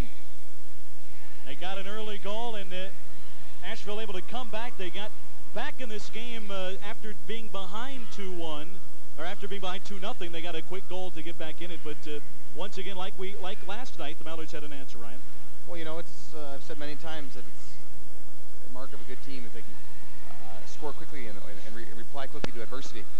Asheville is a good team, and they came right back down after we made it 2-0 and, and scored right away. Again, we're a good team, and we came back down and made it 3-1 game. So you know, as long as we continue to uh, respond to adversity as well as we have so far, uh, there's no reason why we shouldn't be successful tonight. Let's take a look back at uh, the scoring in that first period. Here is the first goal. It took a wild bounce off a shot on a face-off the point. Chad Power had that bounce in on the assist. Harold Hirsch, who won that face-off, and that got the Mallards on the board at 45 seconds of the first period. You look now at goal number two. Just a beautiful pass short-handed. Just a beautiful pass here by Patrick Nadeau. Short-handed goal, and it's such a huge goal again by Hugo Proulx, but really the play made there was uh, Patrick Nadeau's beautiful, beautiful pass to him. Mallards led this regular, led the, the UHL in the regular season in short-handed goals, and got that one that put the Mallards ahead uh, two to nothing. But then Asheville was able to get back on the board with this power play goal, Ryan. Well, it's a bit of a broken play, and Profoski obviously just ends up picking the puck up from Gulash, who made a good defensive play to knock it away from him. Profoski ends up putting it in the net. But, uh, you know, it was a good defensive play, but, you know, Asheville's a good team, and they, you got to expect they're going to bounce back that quickly. So it had momentum on the smoke side for a little while, but that didn't last long as the Mallards reasserted a two-goal advantage. They got back the short-handed goal, but then here comes another one for the Mallards. Well, Vladdy Sarab just trying to throw the puck across to Frederick Joben, and it ends up on the stick of, of Steve Gibson. And from that angle, he's going to bury it every time on you. He's got a great wrist shot, and he ended up uh, putting it top shelf. You can see him do it all year long, and it's another big goal for Steve Gibson. Uh, Gibson getting the goal. Ulmer was credited with the assist for the moment. We'll see if that holds up as they may take another look at that it's got to be disheartening for Asheville, Ryan, because the Mallards are hard enough to play against. But when you're getting a couple of bounces, it's got to be that much more frustrating for the opposition against you. Well, you know, I think we experienced our share of bad bounces on Monday night's game, game three here in Asheville. And tonight maybe we're getting back at those bounces. They do say that hockey's a game of bounces, and uh, you, you, take the good with the bad. And we had the bad happen to us in game three. Maybe the maybe the good's coming for us tonight in, uh, in game five. Two more periods to go, though, and Asheville has to know their backs are against the wall, and on home ice, you have to expect them to step up uh, one or two more notches now, don't you? As Martin Hlinka alluded to, two-goal lead can be tough to keep sometimes. Oh, I see no reason why Asheville won't come out flying here in this uh, second period. Uh, you know, they're, they're a great team. They've responded well all year to adversity. Hopefully we can respond to that uh, challenge that they'll present here in the second period. Well, one key may be to stand at the penalty box, won't it? Because that five-minute major then came back to hurt them when Gibson got that power play goal. That and they got that two-goal lead back there. Well, uh, we alluded to it earlier that discipline is is playing tough, and playing tough is, is also being disciplined. So uh, as long as we can continue to stay out of the penalty box and, and take as much as we can take uh, as far as the Asheville uh, undisciplined play, uh, there's no reason why we can't uh, remain as focused as we can and, and win this game. No, really, those those kind of keys uh, maintain it, but still 40 more minutes to go. Uh, what are your feelings right now, getting closer and closer to uh, uh to winding perhaps this season down? But I know there's still a long way to go uh, in this game, but still, once it gets once that uh, clock starts clicking down again, does it, it, build up that anticipation a little more and more for what's to come? Oh, for sure, Ed. Right now, it's the clock can't seem to tick off fast enough. Right now, it seems like it's taken three hours to play a, a 10-minute stretch of play there. So you know, hopefully we can continue to just do what's, what's kept us successful all year long. And uh, for that, I, I, see no reason why we can't continue to play that way. So the Quad City Mallards have a 3 to one lead as we are in our first intermission. Second period coming up. Brent Belecki. Brent Belecki uh, with a strong effort to, and a brilliant game played in game four. Uh, again, seeing a couple of odd bounces go against him still capable of maybe shutting it down, isn't he, and, and, carrying his team, keeping his team in it because he's a big reason why they made it to the finals. Well, in no way is this game over yet. A, a three to one lead, as, as Martin Hlinka said, is, is, not a lot. It's some of the hardest leads in hockey to maintain. Um, and Belecki, uh, the way he's been playing all season long, he could he could easily shut the door from here on out and, and keep us uh, on the scoreboard at only three goals, and, and from there, who knows? So you know, we, we still have 40 minutes to go, and hopefully the guys, uh, I'm sure Paul MacLean has kept the guys' heads in it in the, in the dressing room there, told us to probably all keep focused, and uh, I could imagine that uh, when we come out here to play the second period, we'll be ready to go. You look at both teams' playoff history, the Mallards in their fifth consecutive finals appearance, and that's the second time a minor league team has ever accomplished that feat. Back-to-back -back titles in 97-98, and the Mallards are trying to recapture the cup for the first time since that 1998 Colonial Cup championship. Asheville, having moved here two years ago, were knocked out of the playoffs in 99 in the first round by Quad City, exited in the opening round last season, but uh, won the championship as Brantford, Ontario in 1993. That was the second year of the UHL. We are about set for period number two from the Asheville Civic Center. Paul MacLean, the head coach of the Mallards, led his team to 55 regular season wins. And hockey history this year with the Mallards' fifth straight 50-win season. At Bingham, meanwhile, who is in his first year in Asheville, third year as a head coach overall, guiding the Smoke to their first final since 1993 trying to figure out a way to come back from two goals down after one.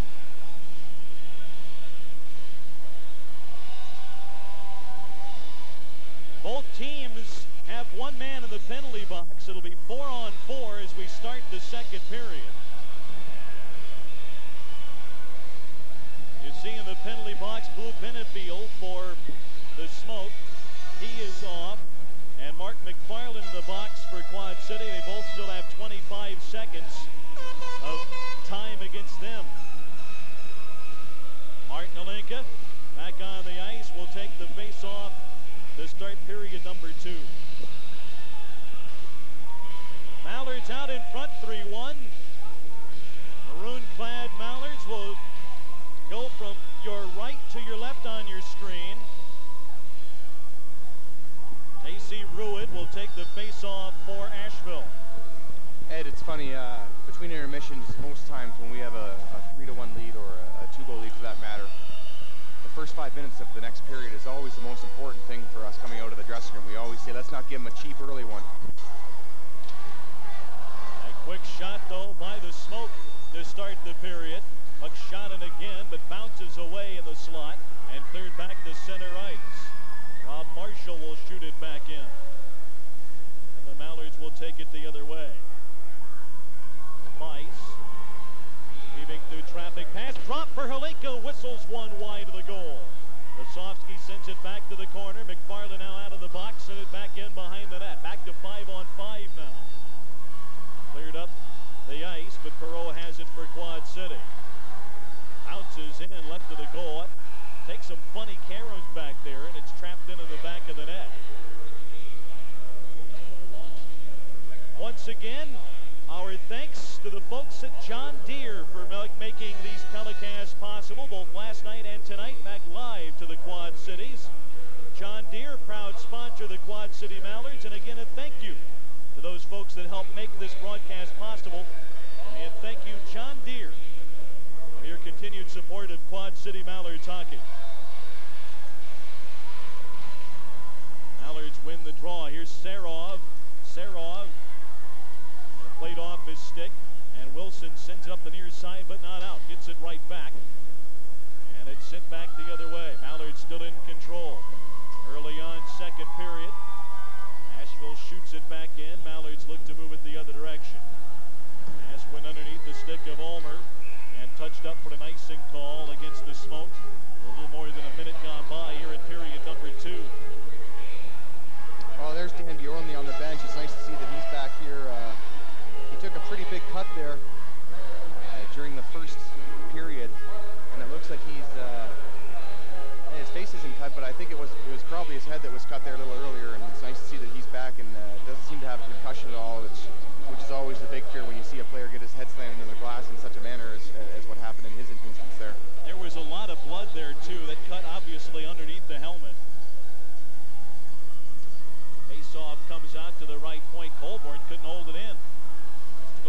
center ice to get it.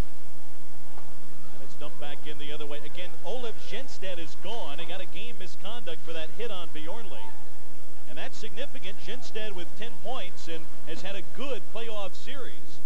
And is out, took himself out in that first. On the far side, it's dumped in on Bilecki. Colborne will play it out of the corner. Up the far side, they look to send it out. It's picked back up the other way. Colborne at center ice, fake the shot, and spins back around to the right point. His team is changing as he dumps it in behind the goal. Behind the net again. Watson with it on the left side. Falls down but plays it back to Colborne. Shoots it into the high slot. Dimmeline there will cover. And again, Joe Dimline playing solidly as ever right now. He let in uh, one quick goal in the uh, at the start of the first, but you know what? Since then, he's been very solid, and uh, and that's the way he plays. Very experienced uh, playoff goaltender. He's got a Colonial Cup championship under his belt, and you know what? He's playing like he wants another one again tonight, and that's uh, that's tremendous to see out there. Face-off will be to his right. He saw six shots in that opening period. The Mallards outshot the Smoke 12-6 in the first. On the draw, it's poked back to the corner. They got it back. Radinko sent it in front. Jammed up in front, but comes back out from front. Akia, his drive wide. Demoline down in the net. Now gets back on his feet as it's in behind the goal. Mallards with the puck. They look to move it out. Near side, this is Proulx trying to feed it back to Hlinka, broken up by Akia. Here's Watson the other way. Off to Benefield. Benefield trying to get around the defender, holds down, penalty coming, and Dimmeline gets crunched from behind as a smoke player crashed into the net. And Dimmeline is slow to get up. And out comes trainer Mark Hitchborn. And are we going to have a penalty? Watson there with a shot. They're piled in the corner. Hlinka drags Benefield out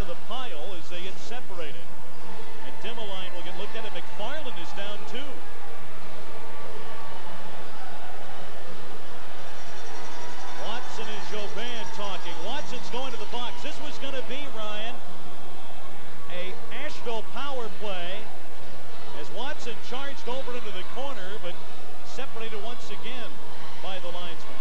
This was going to be an Asheville power play, but that hit, I think, nullified it. We're going to get another look.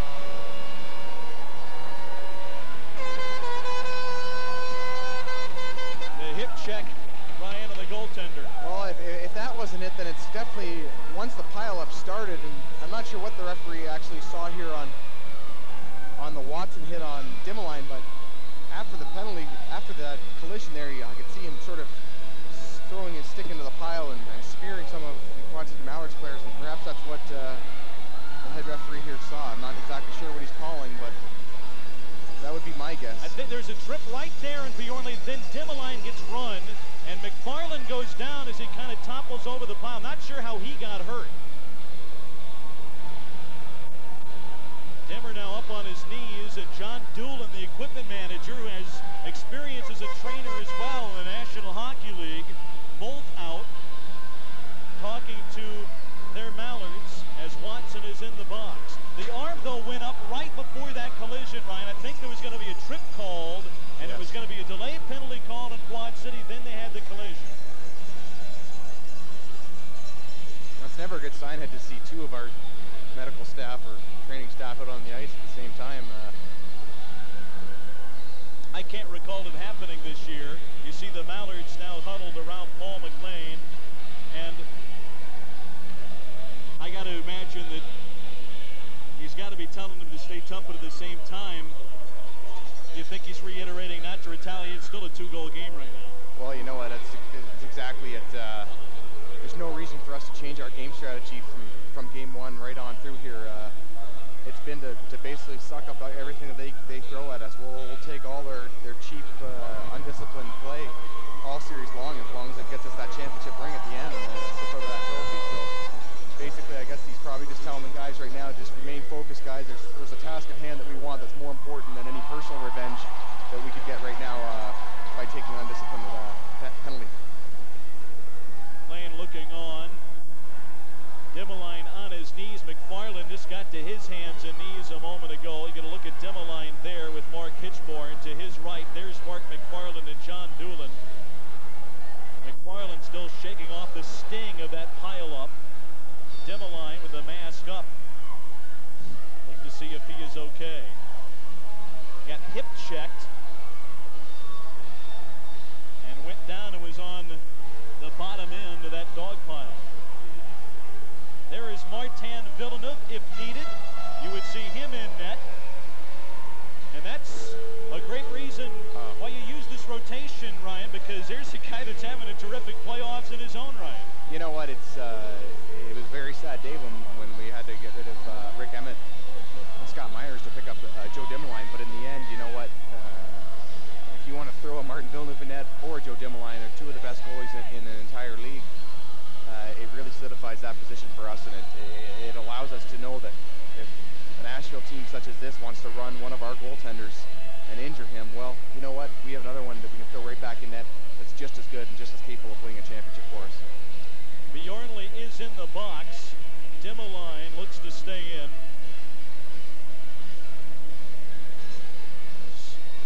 And so far, it's uh, just Bjornley has the two-minute uh, penalty up there on the board unaware right now of what they've given Watson, but he is sitting in the penalty box for Asheville. But has no penalty time up on him. They've given it, wow. They've given Watson two minutes for roughing. Bjornley gets a hooking and a roughing call. so the Mallards are shorthanded out of that mess.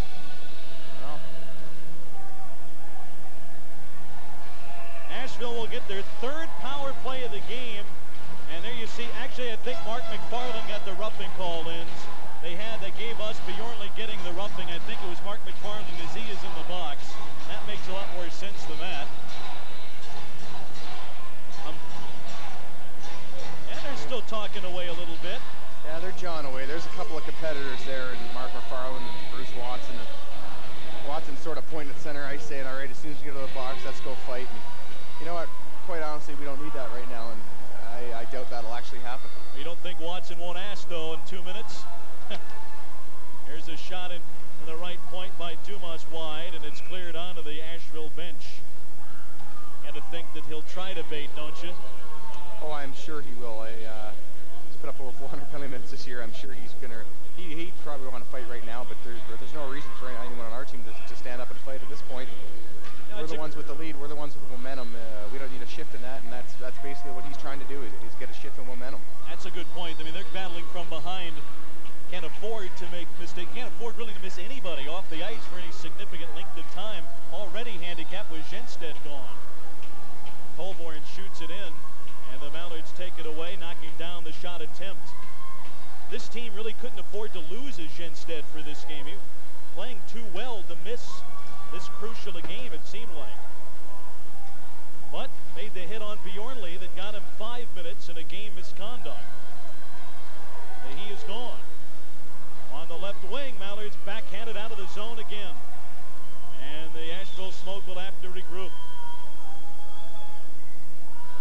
Pass it on the near side. Intended for Crimmin. Goulash broke it up, and Ruud will get its team regrouped. Radinko backhands it in. Toporowski going back for it. Clears it, linked to the ice the other way. Lucky had to spin it away. The Mallards were bearing down.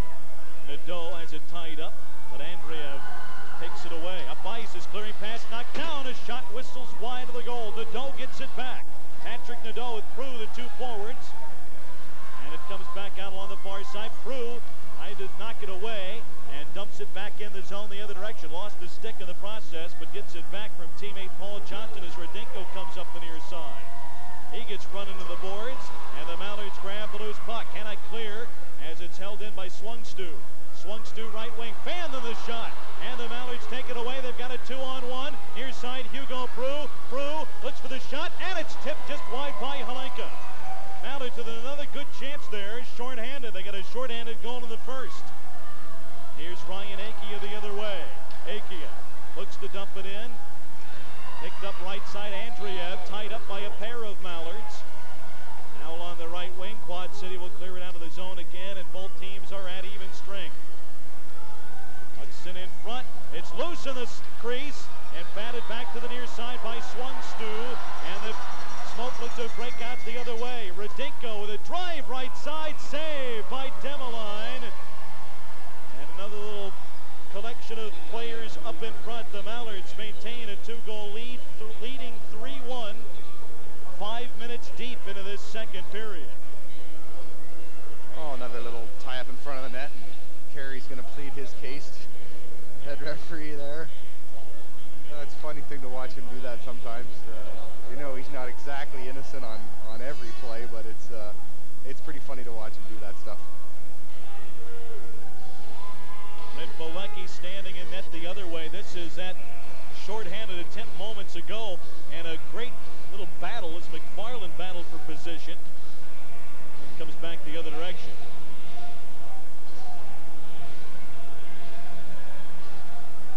Well, that time of year, Ryan, as battles in front of the net, they're wars, aren't they? Oh, for sure they are. It's uh, strongest always survives there. On pass up ice. Bounce right in front of the Asheville goal. It'll be an icing call. Only the brave go in that painted area, huh?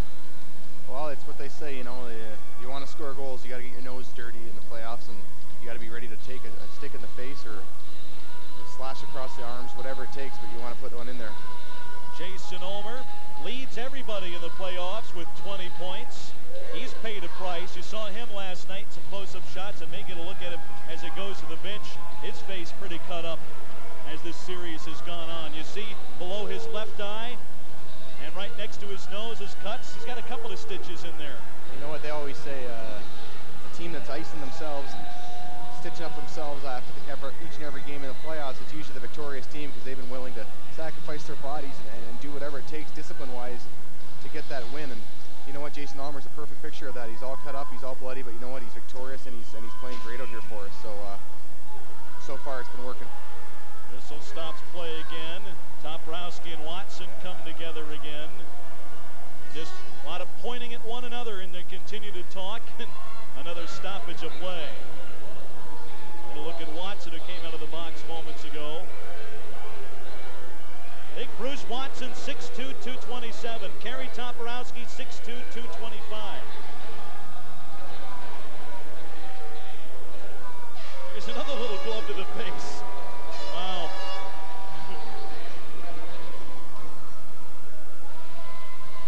he and Watson matched up right there, right in front of the glass. At that.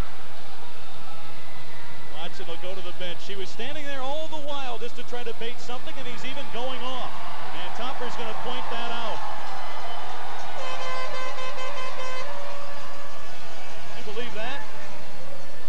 That was just to try to bait him. He had nothing to do with that face-off right there. And this has Topper fuming. Topper's going off. I don't believe it.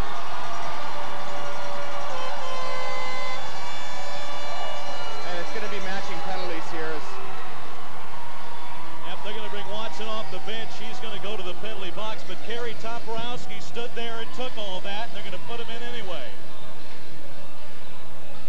Yeah, you know, it's, there's nothing wrong there. Kerry was being uh, very disciplined on that play. Watson shouldn't have even been on the ice. He'd already been changed for, and that's really, uh, I believe, a refereeing uh, problem there. He should have he should have known that there was already five actual players on the ice, ready for the face-off, and Watson was just out there stirring things up.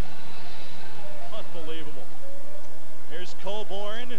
Shot from the tie slot. Saved by Demoline through traffic. That one was kind of tough to take if you're Quad City.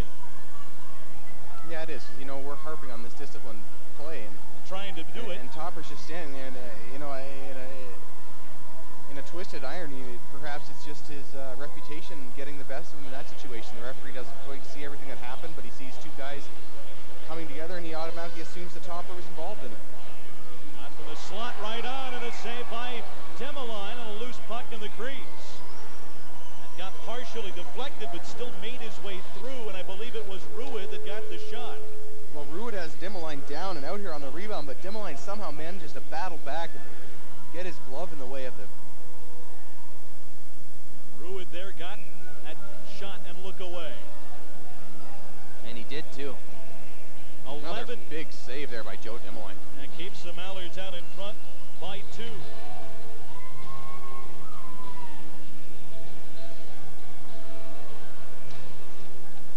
On the face-off, Wise sends it to the far side. McFarland chips it out of the zone. Asheville at their own blue line. Ruitt around the defender, brought it in, trying to hit Colborne. And he has to go retrieve it along the wing. Colborne in the corner, backhands it Brasovsky, and a pass broken up from him, and the Mallards head the other direction. Here's Solenka. Brew trying to center, and it winds up into the seats. Went firing off the far side with 14.01 to go in the second period. You get a good look at Hugo Proulx here.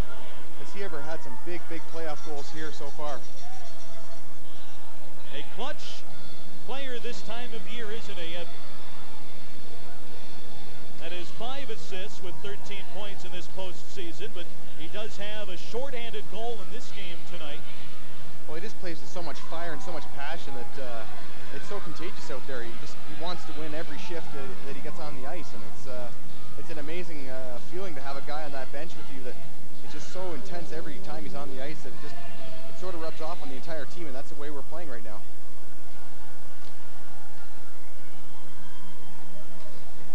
Puck dumped ahead. Serov with a shot from the blue line, knocked down by Pilecki Smith. Gibson trying to retrieve it in the corner. Has it taken away by Raposa. Raposa up the far side. Freeman fighting around the defender. Can't get a shot away in behind the net. There's a collision there, and a whistle will stop play with 13.38 to go in the second. No scoring yet in the second period. That man, Kelly Perreault, three assists last night. Nine points in these playoffs. Quad City keeps a two-goal lead. Perreault, a great offensive defenseman, Ryan, but great all-round skills. A perfect defenseman in a lot of ways, isn't he? Well, you know, he's had, he has tons of experience at the higher level, and there's no reason, uh, sorry, there's every reason to believe that uh, because he's so gifted as a defenseman, that's the reason he's always up at that level. Uh, we're just fortunate enough down here uh, for our playoff run, and it's uh, it's great to see, but you're right. He's been a tremendous asset to this team, and uh, not only can he can he play physical, uh, great offensively, but he's also played very physical in, in such a small rink as this when we need him to play physical. Tied up in behind the Quad City net. They battle on for it there. And Rudenko gets the loose puck, centers the swung stew, shoots it way high and wide. Asheville maintains control, centering pass stolen away.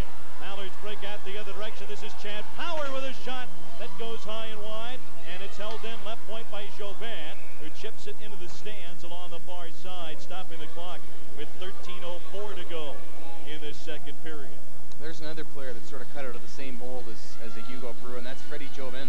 He, uh, he's just a ball of energy out there, and you know he wears his heart on his sleeve the way he plays. He's just always in guys' faces, both uh, on their team and on our team. He's just one of those guys that's always go, go, go, and just a great character player to have on any team. Face-off coming up right in front of the Mallards bench. Hlinka on the draw, and it kicked back to the Quad City blue line. Sin ahead. Dumping a link to the ice. Race on back for it. There's an icing call against the Asheville Smoke with 12.51 to go here in this second period. Mallards out in front, 3-1. This is Iowa Wireless, Quad City Mallards Championship Hockey. Fuel, Fire, Desire. 2001-2002 Mallard season tickets are now on sale. Meet the price increase for next year by purchasing your Mallard season tickets for next year. Call the Mallards office at 309-764-7825 for season tickets to the 2001-2002 season. And Bjornley gets a face-off from the left point. And Proulx plays it back to the other point. And it's knocked down to the crease by Belecki. Bjornley again holds it in, finds Proulx in behind the net. Lost a handle, but a drive wide by Jobin. And now the Mallards maintain control. Bjornley another drive, loose puck right to the crease. They had Belecki out of the out of position for a moment. Couldn't put a shot away. Now again, here's Hlinka, backhands one, or McFarland backhands one toward the net, and it's tipped away, and the Mallards get it back. Quad City regrouping and are changing as they send it up ice. Serov tips it ahead. Here's side Colborne. It forward, and it bounced away from Andreev. Mallards send it length to the ice the other direction. Race on for it. Serov gets to the puck, centers, but it's taken away by the smoke. Here's Ruin up the near side. Backhands one length of the ice that bounced off Raposa. Collision in behind the net. Homer spins it up ice, but it's held in there. The slot, knocked down. Mallards breaking out. They got a three on two. Serov fires a shot wide, and Raposa gets it near side. Sends it to the near side. No one there for Asheville. And sent back along the near side. Bounces right in front. Ruin controlling. The far side. It tips away from Gibson. Back to the near corner. There's Dumas. To center ice intended for Rudenko. Missed him. That's a roll link to the ice the other way. Touched up and an icing called against the smoke. With 11-10 to go in the second period. Mallard still out in front. 3 to 1. And Bjornley hit in that first period and sustained a gash on his head right under the helmet. Back on the ice. Back on here in this second period. Rookie out of the University of Wisconsin. The Mallards with a number of rookies and some high-profile collegiate programs, and that helps, it has to help Ryan in an environment that you're in with the Mallards, doesn't it? Well, it helps in recruiting purposes, you know, to bring, uh, you know, a Dan Bjornley from Wisconsin. You know, now he has, now we have that option where, you know, next year there might be some graduating seniors that Dan Bjornley knows that could help the Quad City Mallards, and, and here we go. We have an in right there at that university now to try and bring some, uh, some of that talent here. He was the first Badger that the Mallards had successfully signed. Came in at midseason. Here's along the near side. Akia right point. as one bounce away to the far corner. Picked up there. He cleared up the near side. Mallards get it back. To work it up ice the other way, but it's tied up. Comes back out. Armbrust finds Power at center ice. Power only one on three. Sends it ahead as Quad City looks to change. Here's Benefield near side. He runs in to Bjorn Lee, it ahead. Lucky clears up the far side, but it bounces in front. Shot tipped by Hlinka right on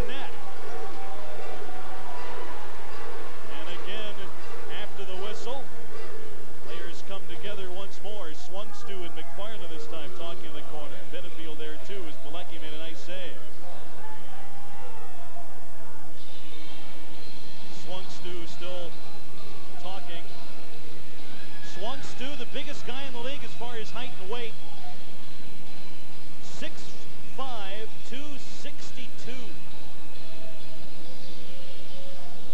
The linesman talks to him as he heads back to his bench on the far side. Face-off will be to the left of Brent Belecki.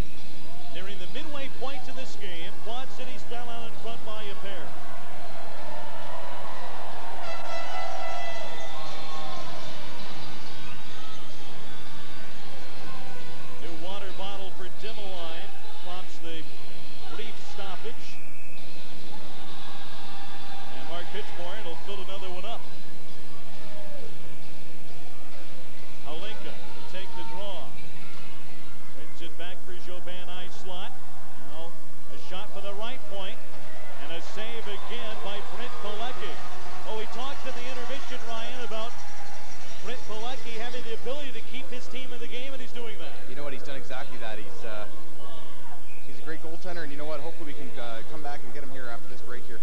3-1 Quad City. This is Iowa Wireless Quad City Mallards Championship Hockey.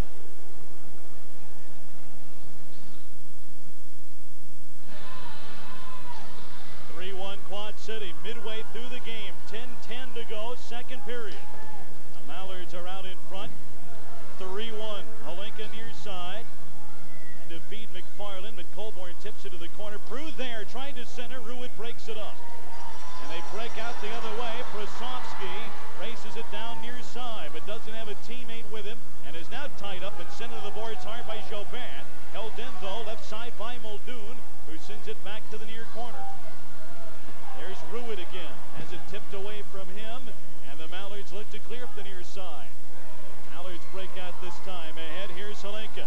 Drop pass for Bjornley. Back to Hlinka in the corner. Hlinka in behind the net. Tried to feed Proulx on the right side and couldn't get a shot away. Ruud spun around. Mallards get it back. Hlinka again for Bjornley. Shot save made and a nice good open look that time, Ryan. A close call there for the Mallards. Ed, we just mentioned before that last commer commercial break, uh, Belecki has, has been turning this game around, I should say, uh, holding his team in.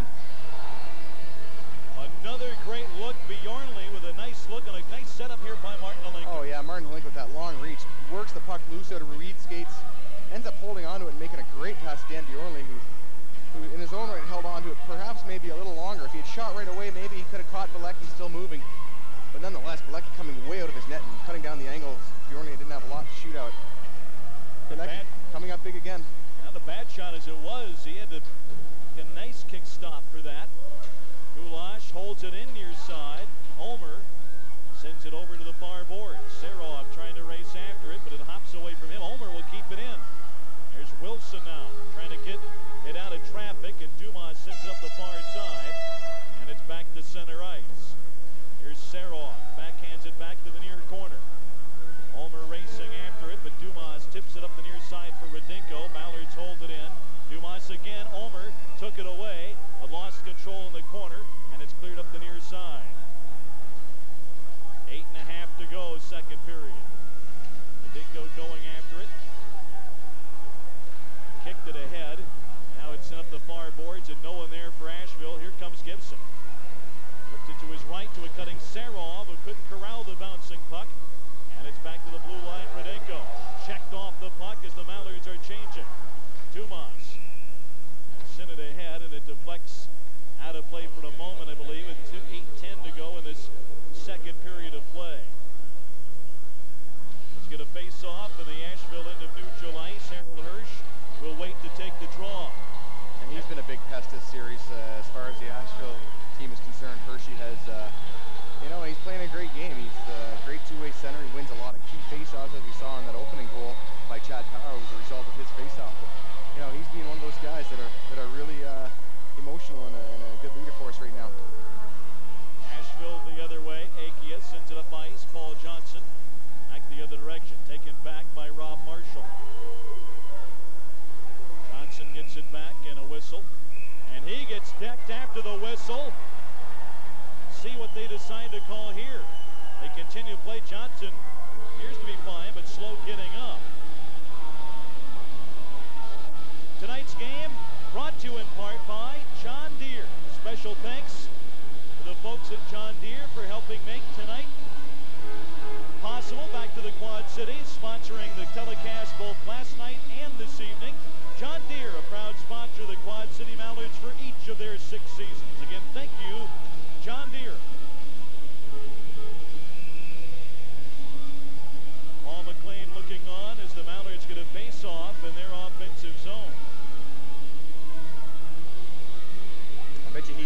thinking what I'm thinking up here, and that's uh, this clock just does not seem to be moving. Faceoff came out, got by Bjornley. Bennefield trying to run it down, but the Mallards tie it up in the near boards. Akia tried to beat a man over the blue line, and it's knocked away from him. Here come the Mallards the other way. McFarland, Proulx, Hlinka in the slot, turned around, and it's taken away by Swungstu. He runs into Bjornley at the puck turned over. Now Proulx battling Akia, and Swungstu gets it back. He looks to carry it in. Swungstu has it batted away momentarily by Bjornley, but taken back by Rudenko. Colborn with an attempted shot. That got smothered. Proulx breaks out the other way. Proulx feeds Hlinka, trying to get around Colborn. Does. Trying to get a shot. Stick tied up, but still got one away, then went wide. What an effort. Proulx steals it inside the blue line, trying to feed it in front. Shot goes wide, and Colborn takes it back. Mallards look to the blue line, dumped ahead by Rudenko. Asheville forced to change. Mallards will dump it the other way. Deflects off the far boards to Belecki, and he'll try to sweep it near side. There is Ulmer. Now Gibson trying to beat back to Ulmer, tied up by Kremen. Still able to send it to Serov, who shot it wide. Serov trying to get it back.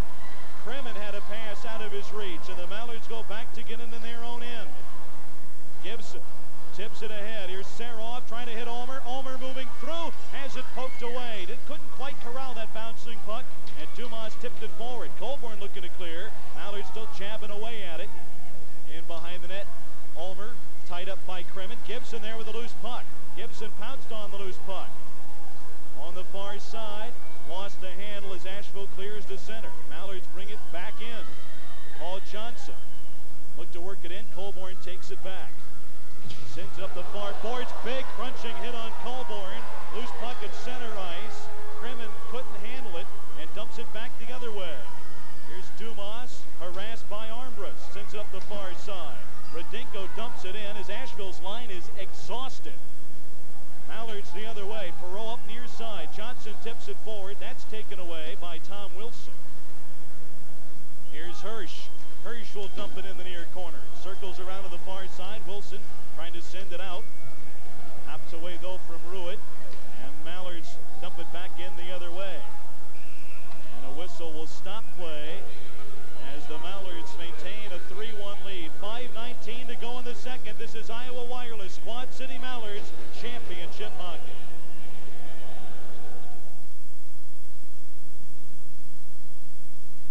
We are back. Here in the Colonial Cup Finals in Asheville. And you can get your 2001 playoff souvenirs at the Mallards Nest in downtown Moline. Pick up Quad City Mallards playoff merchandise and finals merchandise. Always a little more meaningful when you capture that cup and have a souvenir from the playoff season. You can pick that up at the Mallards Nest located in downtown Moline. Mallards shoot it in from the blue line shot knocked down by Belecki, and it's cleared up the far side. Going length of the ice the other way. And there is the icing call against the smoke with 5.04 to go in this period. Mallards up 3-1. They haven't added a goal, Ryan, to build on this two-goal margin, but it seems like last uh, few minutes took a lot out of the smoke.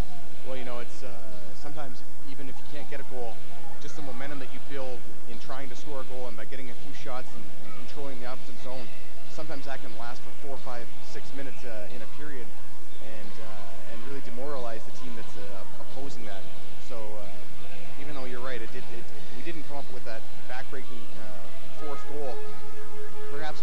swung enough in our favor that we can control it for the last five minutes here and take it into the third period. A tip near side. Akia sends it up the near side. And the Mallards chip it back the other way. Quad City looking to clear. Pass knocked down. And Ruid will dump it in the far side. Demaline sweeps it back near side. Ruid bumped into it. The Mallards get it back the other way as Gulai sends it up but not out of the zone. Shot from the left point, saved Demaline, and the Mallards regain possession. Cruz sends it back to center ice. Dumas dumps it high in the air, and that's going to wind up a few rows back. 4.27 to go in the second period. J.C. Ruid for the Asheville Smoke.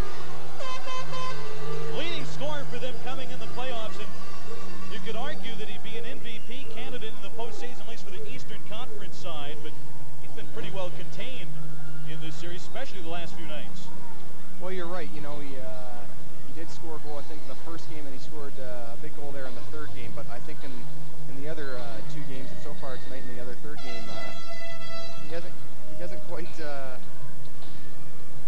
effective as he has earlier in the season. But you know what? We got some pretty good defensemen that he's going against, and it's uh, it's pretty tough to do that when you got a Goulash and a, and a Toporowski in your face. 11 playoff goals you saw. Here's Bjornley right side, trying to center, pass knocked down. Gibson goes to get it in the corner. Gibson to Serov. Serov right side, fires a shot just wide. It's over along the near boards.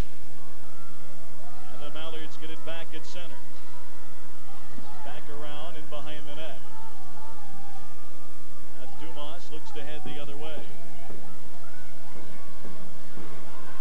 Up dumped over it hit Dumas or hit a stick of an Asheville player back toward the near corner. And here comes Rudenko the other way. Bogdan Rudenko, right side, makes the shot, takes it all the way in behind the net, looking to center, but tied up all the way. And the Mallards will clear on the far side. He had a man in front, but never could get that pass away. Now Serov with a steal. Serov right side, tried to hit a Mallard cutting through with a pass out of the reach of Peter Armbrust. Muldoon the other way. Goes in behind the net, Kerry Toporowski. Sends it out of the zone along the far side. This will roll into the ice the other direction, but not an icing call as it didn't go far enough. Here come the smoke the other direction. Shot from the left side, smothered. And Mike Colborne from the stick of Chad Power. Swung Stu on the far side. And to send it out. And it bounces up. Leave onto the Quad City bench to stop play. See Bruce Watson in front of the Mallards bench yet again, this time with no helmet. Fuel, fire, desire. Mallards 2001-2002 corporate sponsorships are available for next season already. Join the Mallards team with some exciting promotional possibilities as the Mallards look to the 2001 season at the Mark of the Quad Cities. Call 309-764-7825 for Mallard's corporate sponsorship opportunities.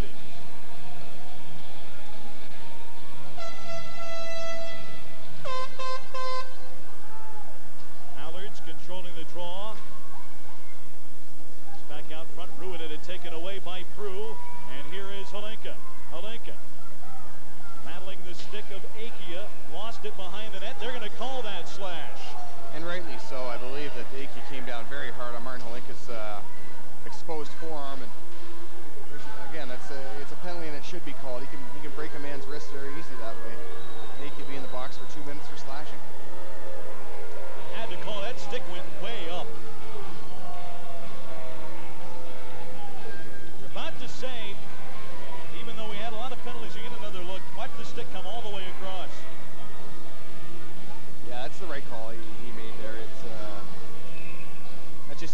Play.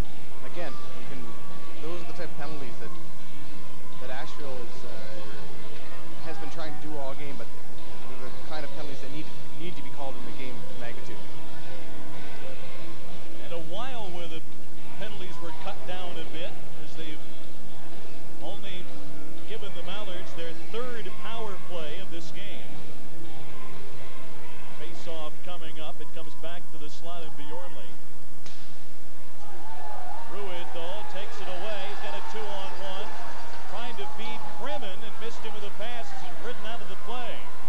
Here come the Mallards the other direction.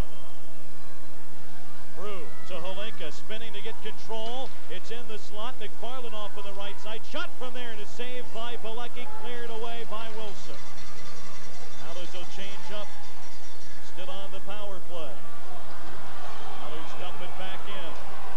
And there's an injured Quad City player behind the play, and a whistle will stop action there. Kelly Perreault slow to get up.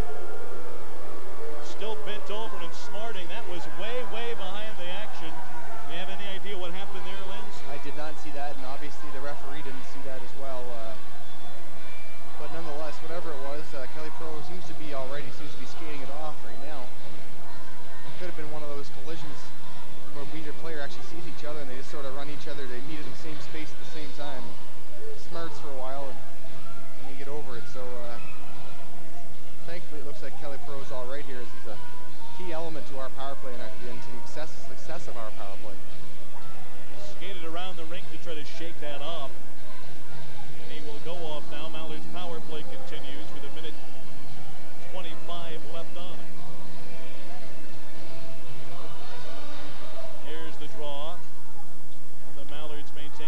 Serov flips it off to the far side, and Gibson sends it in behind the net. Serov beat Dumas with the puck. And got a Dolmer. Dumas those breaks up a pass in behind the net and clears. Quad City will regroup. New defensive pair out for Asheville. Muldoon and Colborne, the two defensemen. A tip to head. Gibson racing for it right side. Get a quick shot away. Finds Ulmer in behind the net. Now to Serov in the corner. Vlad Serov back in behind the net for Jason Ulmer. Back to Serov. Serov lost it off his stick. Muldoon cannot clear. And it goes back in. Stops along the corner. Muldoon races after it. Tries to clear it up ice. Now Colborne has it knocked down by Gibson. Ulmer with a drive right in front. That's denied. And it's held in along the far side point. Timer off the boards by Goulash. Bounces in behind the goal. Serov goes to get it in the corner. Now to Ulmer in the corner. Gibson in behind the net. Gibson trying to beat Serov in front. And it's taken away by Andreev and cleared by Asheville. Closing moments of the power play. Edred Gibson over the blue line. Muldoon takes it away. Mallards hold it in the offensive zone. In behind the net. It's taken back away by Asheville.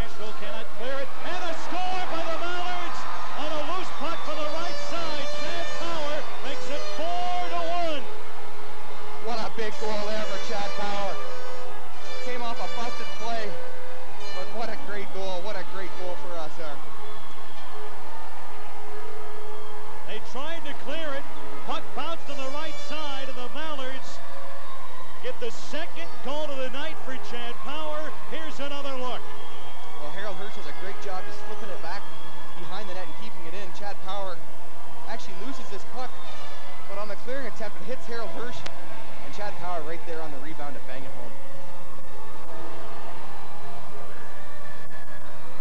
Belecki had no chance in that. He's played a great game tonight, but he really had no chance on a turnover that, that deep in your own zone.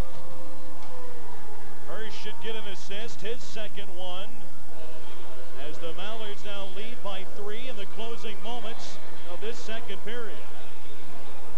On the far corner. Puck tied up there. Asheville comes out of there with it, centering right in front. A What a- shot denied by Demoline who robbed the slot from the doorstep. What a huge save that was. Absolutely huge save by Joe Dimmeline there. That could have been an easily 4-2 game right there. Again, the forecheck of Asheville turning pucks over, getting a brilliant chance by Rudenko and Joe Dimmeline on the on the doorstep again. Just robbing him. Absolutely that- robbing him. Tapped that crossbar and a little frustration there. He knew he had a chance to get his team back in the thing. That would have been a huge momentum swing toward the end of the period. Demoline keeps his group ahead by three. Just an unbelievable save, and that's the way he's been all game long tonight. Very solid in goal, coming up with the saves when he needs the saves. Sometimes, Ed, it doesn't matter if you make 50 saves, if you make 10 saves all game long, but they're at the right time in the game. Sometimes that's why good goalies are good goalies. Joe Demley comes up with the right timely save at that, at that particular point in the game. Mallard's clear, closing seconds of this second period. Bjornli picks it up in behind the net, looks to run out the clock. There's the horn. The Mallards with a goal late in the second period. Build the lead. It's now a 4 to 1 margin for the Quad City Mallards at the second intermission. The Quad City Mallards now 20 minutes away from their third Colonial Cup in franchise history. Will try to hang on to a three-goal lead as we look to the third. Chad Power with his second goal of the night and fifth goal of the playoffs has given Quad City a three-goal edge. 4-1 Mallards at the end of two. We're back with our intermission report. This is Iowa Wireless Quad City Mallards Championship Hockey.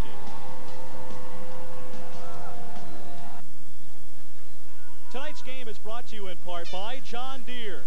A special thanks to John Deere for helping make these broadcasts possible so we can bring them back to you live in the Quad Cities. John Deere, a longtime sponsor of the Quad City Mallards, and again a thank you to that company for their continued support of the Mallards and for tonight's telecast. Come back to the Asheville Civic Center here in North Carolina. The Mallards lead the smoke at the second intermission. Four to one our score. Ryan Lindsay, a great, uh, a great second period. We're going to be joined by defenseman Kelly Perreault. Uh, Kelly, if you can hear us, uh, what kind of a lift is it to get that kind of goal late in the period now to take a three-goal lead? Yeah, it was a big goal. You know, uh, Howie just uh, happened to. It was kind of a lucky goal on a bad bounce in their zone. The puck came out to him. He just slapped it back into the net. But uh, it's a big goal. You know, we got a three-goal lead, but that doesn't mean too much going into this uh, third period. We're not taking anything for granted. We know it's going to take a lot of hard work, and uh, we just want to make sure to get this job done tonight because uh, it needs to be finished. And uh, we'll be excited to win this championship tonight. Well, you're now 20 minutes away from it with the three-goal lead, Kelly, but obviously you're expecting an onslaught from them in the third period. Any more, uh, any different uh, uh, plan as you look to the third to keep them bottled up and keep them off the board?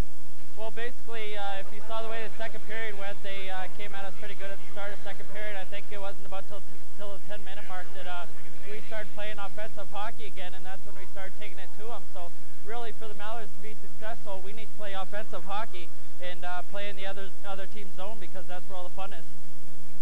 Kelly, a lot of times this year we've had three goal leads going into a third period and uh, situations where we must win games. I can think back to game uh, game one, we had a three goal lead.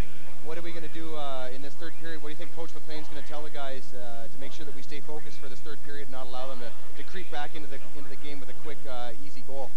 I think basically we need to keep moving the puck quickly and getting it up to our forwards, and uh, as soon as we cross that red line, make sure to get it in deep on them. And uh, once we get in deep, we'll forecheck hard, and uh, we won't back off them too much. We need to keep the pressure on them, and you know that, that's going to keep us for that's going to keep them off the board if we're playing in their end. Uh, Kelly, one uh, one last question. Uh, you looked for further keys. Obviously, uh, maintaining discipline.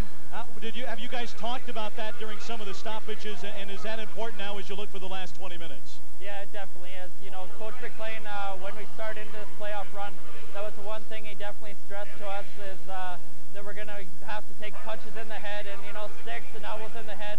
And I think in this series, if, if, if, if you watch the games, then you can see they're, they're the ones that are elbowing us in the head, sticking us, all that other good stuff. And uh, that's just going to put us on the, on the power play. And uh, once we get on that power play, we need to capitalize. But, uh, yeah, we're just looking forward. We're going to give it our all in this third period, and uh, hopefully that'll be the end of it. Well, Kelly, appreciate the visit. Hang in there. 20 more minutes to go. We appreciate you stopping by. Thank you very much, guys. Mallards defenseman Kelly Perreault joining us during the second intermission as the Mallards have a 4 to one lead at the second break. Well, you talked, we've, we've talked about it all series, and you hate to have that necessarily as a key, but I mean it's important as uh, as Asheville really has to has to play discipline now themselves for this last third period. Still down three, a couple of goals, and they're right back in this thing. uh, they can almost afford, they can't afford to make any mistakes, can they, now in the last period? No, you're right. Uh, Kelly uh, touched on it there in his little interview. Uh, we simply can't afford to allow Asheville's undisciplined play to get inside our heads. We have to continue to play the way we played all game long, and that's a suck it up basically mentality. We'll take whatever they can give us, whatever they can dish out, we're going to take. Because in the end, all we want is that championship ring. Ryan, also Kelly Perreault mentioned uh, that they turned it over and started playing that offensive style and that puck control and maintaining it in the offensive zone. Couple of shifts for Asheville as those smoke players came off. They looked completely drained late in that second period. Did that? Do you think that uh, that could be a factor in the third? Is maybe that play in the last maybe seven, eight minutes of the second took a lot out? Oh, I believe you're right uh, with that. Uh, they rely on their forwards quite an off, quite an awful lot with the forecheck they have of sending all three of their forwards deep into the uh, Mallards' uh, defensive zone. Consequently, it makes them very tired out there on the ice. And right now, if, as long as Quad City can continue to, to continue to move the puck and, and hold the puck in with puck possession uh, for the rest of the third, we should be all right. How much energy, how much more energy is expended playing in the defensive end as opposed to the offensive end? Because really, it, that that stretch really seemed to wear on them. Well, it's funny you asked that question. Uh, all season long, when when Coach MacLean comes in to talk to us between periods, he's always drawn on the chalkboard, which has a picture of our uh, arena in there. That the defensive the defensive zone, he writes work in that end. In the offensive zone, he writes fun. So basically, you know what? Uh, he'll be in there talking to the guys right now, saying, let's not uh, have to work too much this period. Let's go out there and have a lot of fun, which just basically means let's keep the puck in their end and, and, and keep it out of our end. As long as uh, they're 120 uh, odd feet away from, from our goal, they're not going to score any goals, and, and, we should win this game. So that's uh, hopefully the attitude we'll have Equipment manager John Doolan has another phrase in that chalkboard too. It's winning is fun. And certainly the Mallards Mines are winning a Colonial Cup tonight. They're 20 minutes away at the moment as they lead in the second intermission 4 to 1. We're back with more. This is Iowa Wireless Quad City Mallards Championship Hockey. Welcome back to the Asheville Civic Center here in Asheville, North Carolina. The Mallards leading the smoke 4 to 1 at the second intermission. And we are joined in this intermission report by the beat writer for the Quad City Mallards from the Quad City Times, Craig Cooper, who's covered this team for each of their six years in existence. And uh, uh, this could be a special night uh, that, that you've covered, I'm sure, a long way from home. Maybe the farthest you've traveled from Mallard's game, but, uh, uh, but uh, at least 20 minutes away from a possible Colonial Cup. what are your impressions, at least on this night to this point? I think, I think you've got a team that will be very hard to come back on, for one thing. They have been all season. You've also got a team that's pretty pretty much outmatched skill-wise, I think, and uh, and I don't think there's much chance that they're going to come back from this, but you never know. You know, one thing about it, it certainly has been uh, an interesting series, at least from the standpoint that uh, it, has been a surprising one with all the stick work and penalties from the Asheville side. Um, kind of an uncomfortable feeling as you look at that third period, knowing uh, what you who know, knows what might break out. I, I think in a I think in a, in a game like this that they will probably I would hope they would go out gracefully, uh, and you would hope that they would, but you never know. I mean, they have the mentality that that uh, that's their game. I mean, that they're they're tough guys, and that uh, that's their game, and and they may, you know, there may be some funny stuff toward the end. I hope not. We all have deadlines. no kidding. You know, this has been a historic season in a lot of senses. 55 wins, uh, of course, in the Mallards' fifth straight 50-win season, part of hockey history now. Uh, what uh, is this season been been a lot of fun for you? You've seen them all. I mean, uh, where does yeah, this rank among great. the years? Uh, it's been great. I think I, I was thinking about this earlier. I think this may be the best team of of the uh, last five seasons, I, skill-wise, because the league's better. Uh, to win 55 games, I think, is probably harder now than it was uh, four or five years ago when they first did it. They did win 55, I think, in the five years ago or four years ago uh, it's harder now, and and uh, the, the, skill level I think is higher in the league, and this team is, is more skilled I think than than even the two championship teams before. It's interesting because if you're not familiar with the league, if you see the standings, uh, then it still looks like there's one team way above the rest of them. But I don't think people realize that that gap isn't necessarily there. The Mallards have been that yeah, good. Yeah, I think year. you're right. I mean, there were, uh, you know, there were some uh, pretty good teams. And there used to, you know, when the, four or five seasons ago, there would be some nights where they pretty much knew they were going to win, and probably by four or five goals.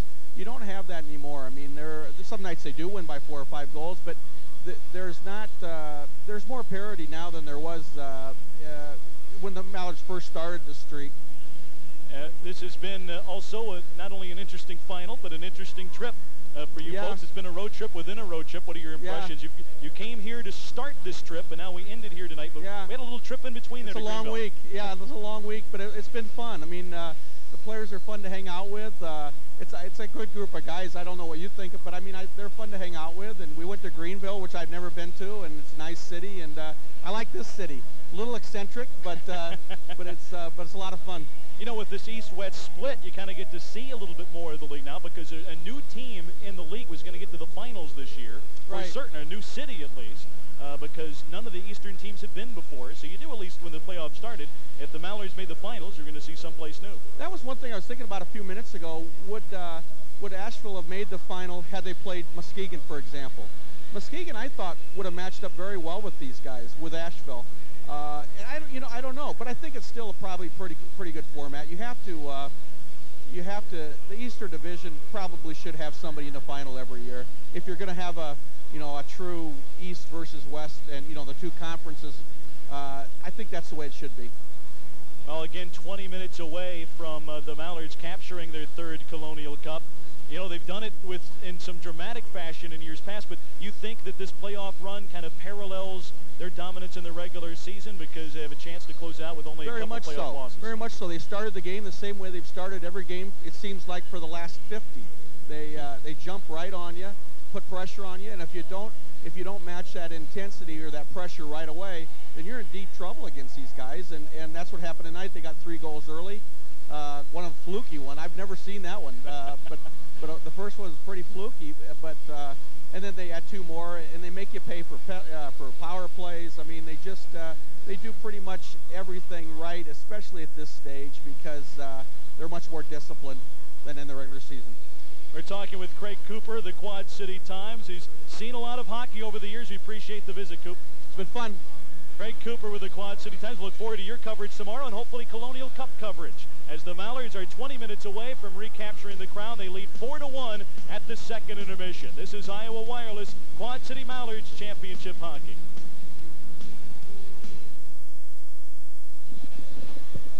You are back live inside the Asheville Civic Center where the Mallards lead it 4 to 1 at the second intermission and we get set to start the third period momentarily as we rejoin you at Beach along with Ryan Lindsay for the broadcast tonight. Great to have you with us anywhere around the Quad Cities and watching in as the Mallards are 20 minutes away from their third Colonial Cup up 4 to 1. Still a lot of work to go, Ryan. Yeah, it is. Uh, I mentioned earlier that, you know, uh, on quite a number of occasions this year, and, and not all the time, but we've had a, a tendency sometimes to sort of lay back and, and let other teams get back into the game after we've, we've put them down by two or three or four goals. Uh, hopefully tonight, uh, and I, I'm almost positive tonight, Coach MacLean will have the guys raring to go, and, I, I'm sure that first five minutes will come out, and we'll try and dominate, maybe add another goal uh, on our total. A goal in the second period. A strong period, though, for the Mallards. And let's take a look at the action in that second. Here's a good scoring chance here right off the bat. Well, it's the, it's the strength of Martin Hlinka that just fighting off Colburn there in front of the net and actually getting hauled down. But it's just that's that's the stuff of the Washington Capitals love in Martin Hlinka, his strength and size.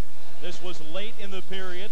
A good bounce here for the Mallards. A fortuitous carom that finds Chad Power. And there's number two of the night. Well, there's nothing Black can do on that play. Uh, Ruid for Asheville has just got to make sure that puck gets out. Anytime a puck uh, should be going out and for some reason stays in uh, via bad bounce or, or whatever, it usually spells trouble. And in that instance, Chad Power uh, able to scoop it up and put in the empty net. Another look at that goal that bounced back to Power from Hirsch. And the second goal of the evening for the Mallards forward give the Mallards a three-goal lead. You see the Quad City goal, the scoring in the second period. That's the lone goal of the period. And it's got to be a big boost uh, they have that three-goal cushion, but they kept that cushion as Asheville made another drive, and Demoline comes through with a big, big save you'll see here. This is an unbelievable save. Rudenko wide open in front of the net. Basically, it should be a 4-2 game here. And for some reason, uh, Dimmeline comes up with an unbelievable save and keeping this uh, score at a 4-1 margin.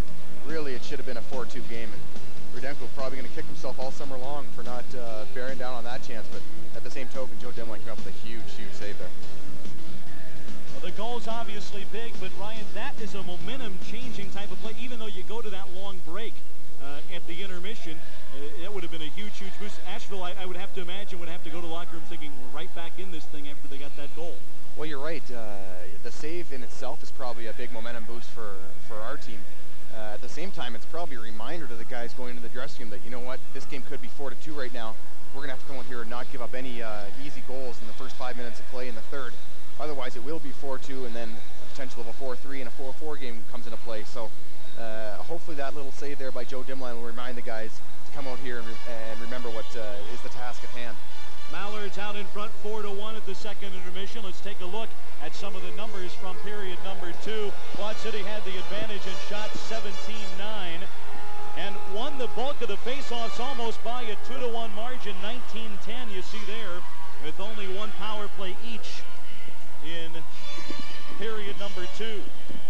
Again, the lone goal, Chad Powers scoring his second of the night and fifth of the playoffs as Quad City is out in front 4 to 1 at the end of two and are moments away from starting period number three. See hits even at 15 apiece. Knew this would be a physical series. It has been, although there have been uh, I guess you would call some annoying tendencies on Asheville's part, but they've got to play almost a perfect 20 minutes now to try to get back in it and have a chance to keep their season alive, Ryan. Well, this is exactly it. This is do or die right now. Uh, all the great teams are able to respond in adversity and come back. We'll see.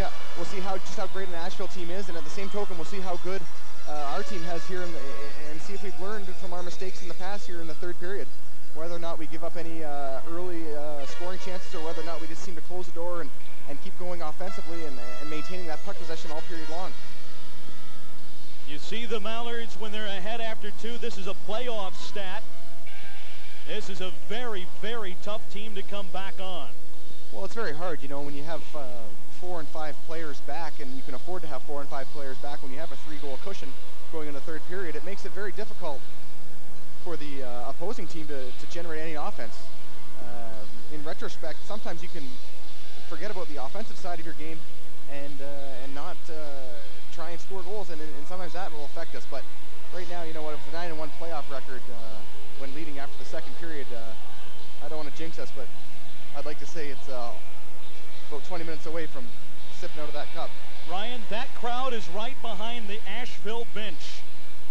and whooping it up. You can right down to that sea of maroon and white to the Asheville bench, and that's got to be a little disheartening for that group of players, I would think. It's a little irritating to hear that kind of noise generated by the opposition in your own building. Yeah, especially when you're as far away as, as these two teams are, uh, ge geographically uh, speaking anyways. Uh, but yeah, you're right. It, it's great to see uh, those fans back there with all the song signs they have posted it's just it's just a tremendous feeling right now. I, it's very hard for me to describe it. It's uh, I'm telling you, I'm getting a little little more excited uh, every every second as this goes by right now, and seeing all those people there. It uh, sure would be nice to win it right now. We made this bus ride, Ryan. It's not a short trip. they have come a long, long way to see their team win it, have a chance at the Colonial Cup. And they're 20 minutes away from pulling it out. They have a 4-1 advantage. They're cleaning up some ice around the Asheville net. A little water standing there. That's why we've got a little delay before we start the third. And the squeegee on, and still some standing water in some patches. This ice uh, has been, uh, well, uh, it's been a talked about surface, I guess oh, you could say. You know, I agree, Ed. It's uh, one of those things, you know, it, even before practice in our morning skates uh, when we come into this rink, uh, and it, and as you see the puck about to be dropped in this in this rink, you see the ice seems to be. It looks like it's still really wet. And some people might think, oh, it must just be the camera lights or whatever it is uh, when you're watching at home, but the ice just doesn't seem to freeze here very quickly. It doesn't matter how little or, or amount of water that the Zamboni puts onto the onto the ice surface here. It just doesn't freeze quick enough, and it gets that slushy, uh, sloppy kind of uh, feeling to it. It's sometimes it's just a joke out there trying to stick handle a puck. But in retrospect, when you have a 4-1 lead coming into the third period, uh, and the ice gets chunky like that, it, it's kind of good because you know that the other team can't make tic-tac-toe passes, and all you have to do is make sure that you bear down on the puck and just keep getting it out of the zone. That's all you have to worry about right now is just get it out of the zone. You don't, you don't have to win pretty here, Ed. You just have to win, and That's that's, the right. bottom line. It is hot here. and That probably has a little effect on the ice surface in this old building. Bjornley brings it in. Centered one, and it's a sprawling save by Belecki. Got a little above 80 here in Asheville today. In the mountains of North Carolina. They have wearing on the ice conditions in an antiquated facility such as this. Head coach Paul MacLean, he's had a number of great seasons as a head coach in the minors, a couple of 50-win seasons in Peoria, but he's never won a big prize, and know he is focused on that.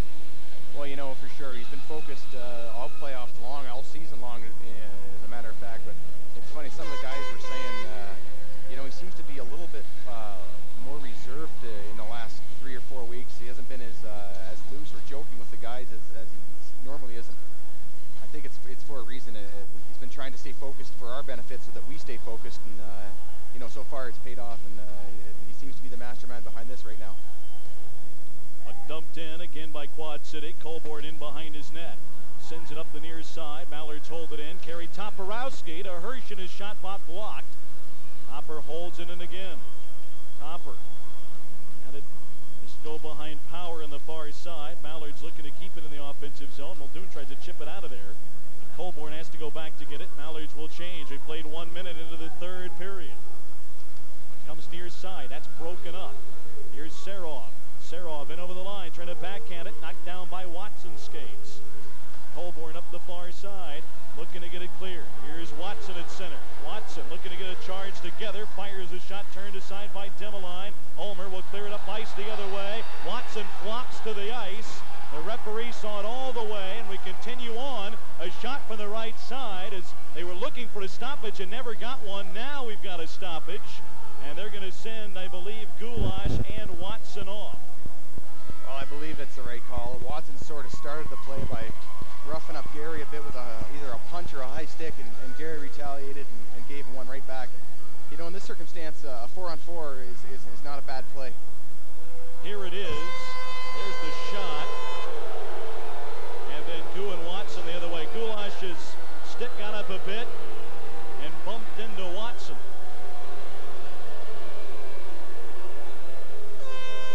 He did everything he could to try to draw attention to that. That stick that was up did the job as he got Gulash off, but Watson went off as well for popping him back. Well, you know, I think Watson uh, sort of deserved uh, the retaliation there on the fact that, that, that Gary got it. I don't think the referee was going to call the original penalty on Watson until he saw Gary Gulash give him the stick back. And, you know, we got, I think we may have got a fortunate break there in the fact that he did see the whole play and he decided to just even it up. Watson in the box. Still trying to show he's smarting a bit. Although the Mallards have Gulash out for four minutes. He takes a double minor. Watson gets two. And it apparently is going to be a power play for Asheville. This for the Smoke will be their fourth power play. And they have a face-off in their offensive zone as well.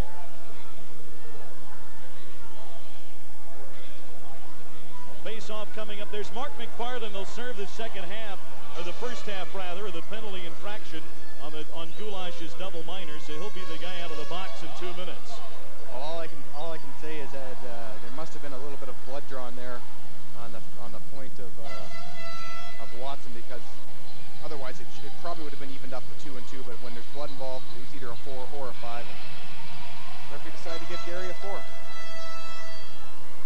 Asheville controls the draw. Ryan, even though there may not have necessarily been blood, there was that a message maybe, a message type of call to say you're not going to have any stick work of any kind really to try to clean it up and have a clean third? That's a good point, Ed. It very well could have been. And uh, if that is the, the case, then I, uh, I applaud uh, the referee decision, even though it's against us. Hopefully it sends a message to both sides that that, that type of uh, high sticking play will not be tolerated.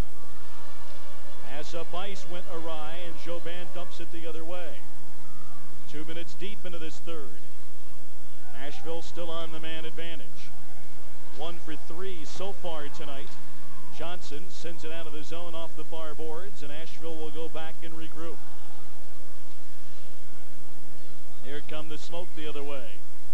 Dumas weaving through traffic at center ice, finds Andreev, backhands it to the far side, and waiting there, Paul Johnson clears it out. Asheville will go back and regroup. Colborne will start his team up ice the other way. Smoke needing a power play goal here, down three. Not going to have too many more chances like this tonight. From the high slot, it comes to Colborne, sends it in front. That went through everybody, and Swungstu picks it up. Andreev couldn't play it.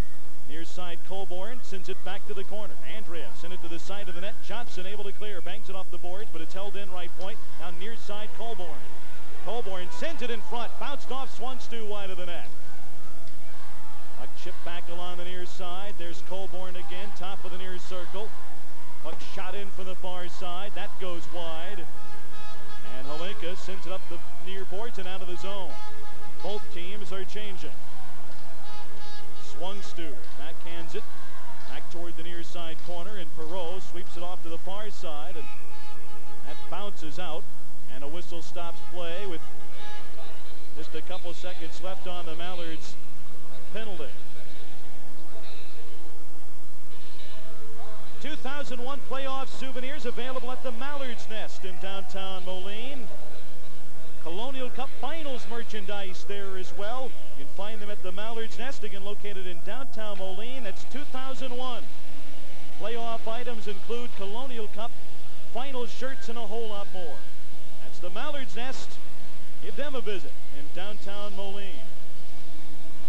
On the draw, they'll do it over again as Ulmer and Crimmins go head-to-head -head on the face-off.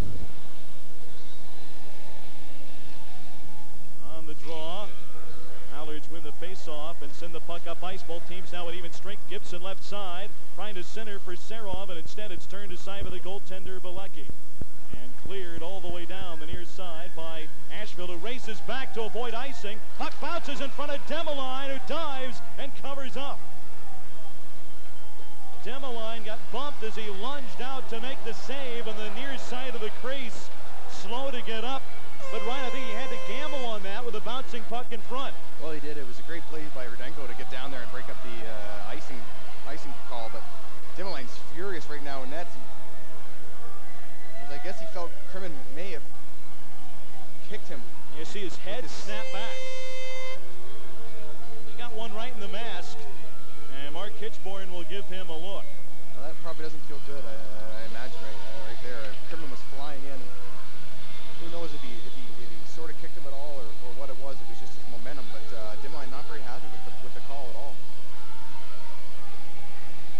head snap back a little bit as he took the hit. Man coming in on the rush from the near side. 16-15 to go. Third period. Mallards with a three-goal lead. Mark Hitchborn will make his way off. Dimline still screaming at the, at the referee, asking him to, protect him in a, in a situation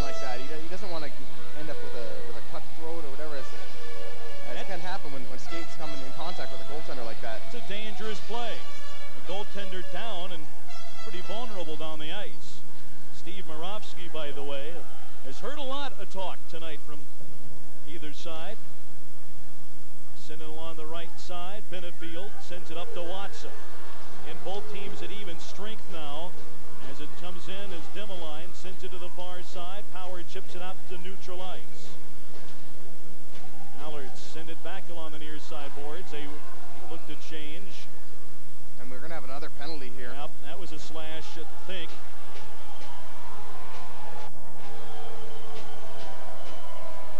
Hirsch got raked as Asheville came in front of their own bench. I believe that's going to be a five-minute major. Wow. As yep. Watson goes off the ice right away. And that probably should be. That was a hard flash. Wasn't anything subtle about that one. Benefield will go out. And we'll see what we've got. It will be a two-minute on Benefield. Well, we saw Watson leave and go to the dressing room for some reason. Uh, not exactly sure what he left for, but Benefield's the one getting the penalty here, a two-minute slashing penalty. Hey, right now is a, is a great opportunity to make it a five five to one game here and really ice this thing right here.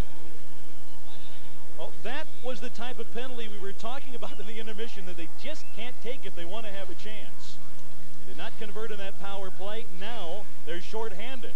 Hard enough when you're down three, but now you handicap yourself being down a man for two minutes.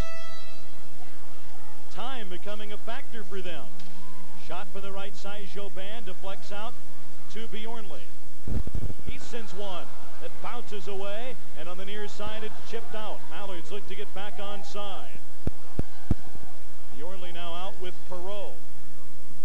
Kelly Perreault will start it up ice the other way. Perreault in over the line. Right side for Proulx. Hugo. Back for Hlinka. And it deflects back over the blue line. Loose puck the other way. Ruud can't get there in time as Bjornley runs it down. And Bjornley the other way. At center, sends it off on the near side. Of McFarland. Wilson can't chop it forward. Mallards keep it in the corner. Hlinka, they're battling with Wilson for possession. McFarland able to send it in behind the net, but Asheville takes control, cannot clear. Mallards knock it down, send it back to the slot, but the smoke intercept. Here comes Prasovsky now, going, trying to go in one-on-one, fanned in one shot as the stick was tied up by Toporowski. Centers, finds Kremen, and he is hauled down, and we got a Mallards penalty coming. And that will nullify the Mallards power play. Hauled down as the smoke had a chance going the other way, shorthanded. Well, early on in that penalty, uh, power play advantage for the Mallards. Uh, someone rang it off the post, but here's a look at the defensive effort. It was a bad change on behalf of the defenseman for for us that allowed the Asheville player to attack the net there, and oh, it looks like he got caught by a little high stick. It might have been, I guess Martin Hlinka's the culprit right now. Prasovsky had Kremen set up. Hlinka took him down, although that stick that got up prevented Kremen from a strong shot. You could argue if the stick wasn't there to haul him down, it might be four to two. Now it's a four-on-four situation. Mallard's still up by three goals. Jobin will dump it in. Four on four, though, for another 30 seconds. Then Benefield down to the box. And it'll be an Asheville power play. Smoke from behind their own net. Want to try to move it into the offensive zone for their extra attacker coming. Near side. Colborn trying to center. Pass comes out. Muldoon will hold it in. Left side. Rudenko looking to play it. Deflects it off the boards, the inboards. It bounced in front. Demeline with a save from the right side. Well, you know your boards in your own rink well. They bounce funny sometimes in here. And watch this ping pong around. What's he holding it here for, Well, he, Ryan? originally the, uh, Rudenko thought that uh, that was going to be a glove ahead play, and it it did hit an Asheville glove uh, player here, and neither one of the guys want to touch it. Apparently, the referee decided it wasn't a glove ahead, and hey, that's a dangerous play. I think you got to take the whistle in your own end, regardless if it's uh, if it's gloved ahead. Right, because you can easily clear. If you're not going to play the, the offensive team's not going to play the puck. Demeline with another good stop. There was a goal like that in game three, a weird one that came off the inboards and wound up ricocheting right in front that tied the game. Yeah, it was uh, almost from the exact same spot, uh, except on the other side of the rink. It's uh, there are some tricky bounces here, but you know what? We play in a rink back home. That uh, there are some some pretty tricky bounces as well. And to tell you the truth, I guess the Mallards won the second championship on a on one of those bounces, those friendly bounces in a home arena that uh, Ryan Black ended up scoring the winning goal. So uh, you know, I guess it's uh, sometimes it's good for you. You see another awful bounce there. And a scoring chance in front, and a save again by Demeline on a couple of chances. Again, Ed, there, we were trying to clear the puck, and it hit one of the, the columns and hold the glass in place, and puck went right back out in front of the net. Asheville had a great opportunity here to score. Crimmon again. Look, Perreault shoots it around the boards, and it hits one of those dividers and goes right to Crimmon in front of the net. I guess it's one of those rules in this rink. You can't take anything for granted. You have to make sure you see the puck and not go to where you think it should be. A great stop. Again, he's, he's in his zone tonight, that's for sure. Asheville now on a power play as Perreault clears it. The far side. Smoke look to regroup and start their man advantage up ice. They look for Ruid. Taps it ahead, but that's broken up at the blue line and sent out of the zone and actually onto the penalty box on the Asheville side with 13.22 left in this third period. Mallard's out in front by a 4-1 score as you get a look at the Quad City bench. Face-off is right in front of them. Leaning a little more forward as this one goes on, Ryan. I'm telling you, it uh, seems like a clock has started to stand still for the second half of this game. They just can't tick off fast enough right now for me. Could be the closing moments of the 2001 hockey season for Quad City. And for Asheville for that matter, but the Mallards trying to capture their third Colonial Cup. Puck tied up along the near side. Toporowski took a couple of shots to the head in that exchange with Bogdan Rudenko. And these two still tied up with one another. Dinko trying to play the puck. Got, got those gloves up a few times in that exchange. Oh yeah, Topper's a big boy. He's definitely not hurt right now. He's uh, he's loving this right now. Topper skates away. And we'll have a face-off coming up around center ice.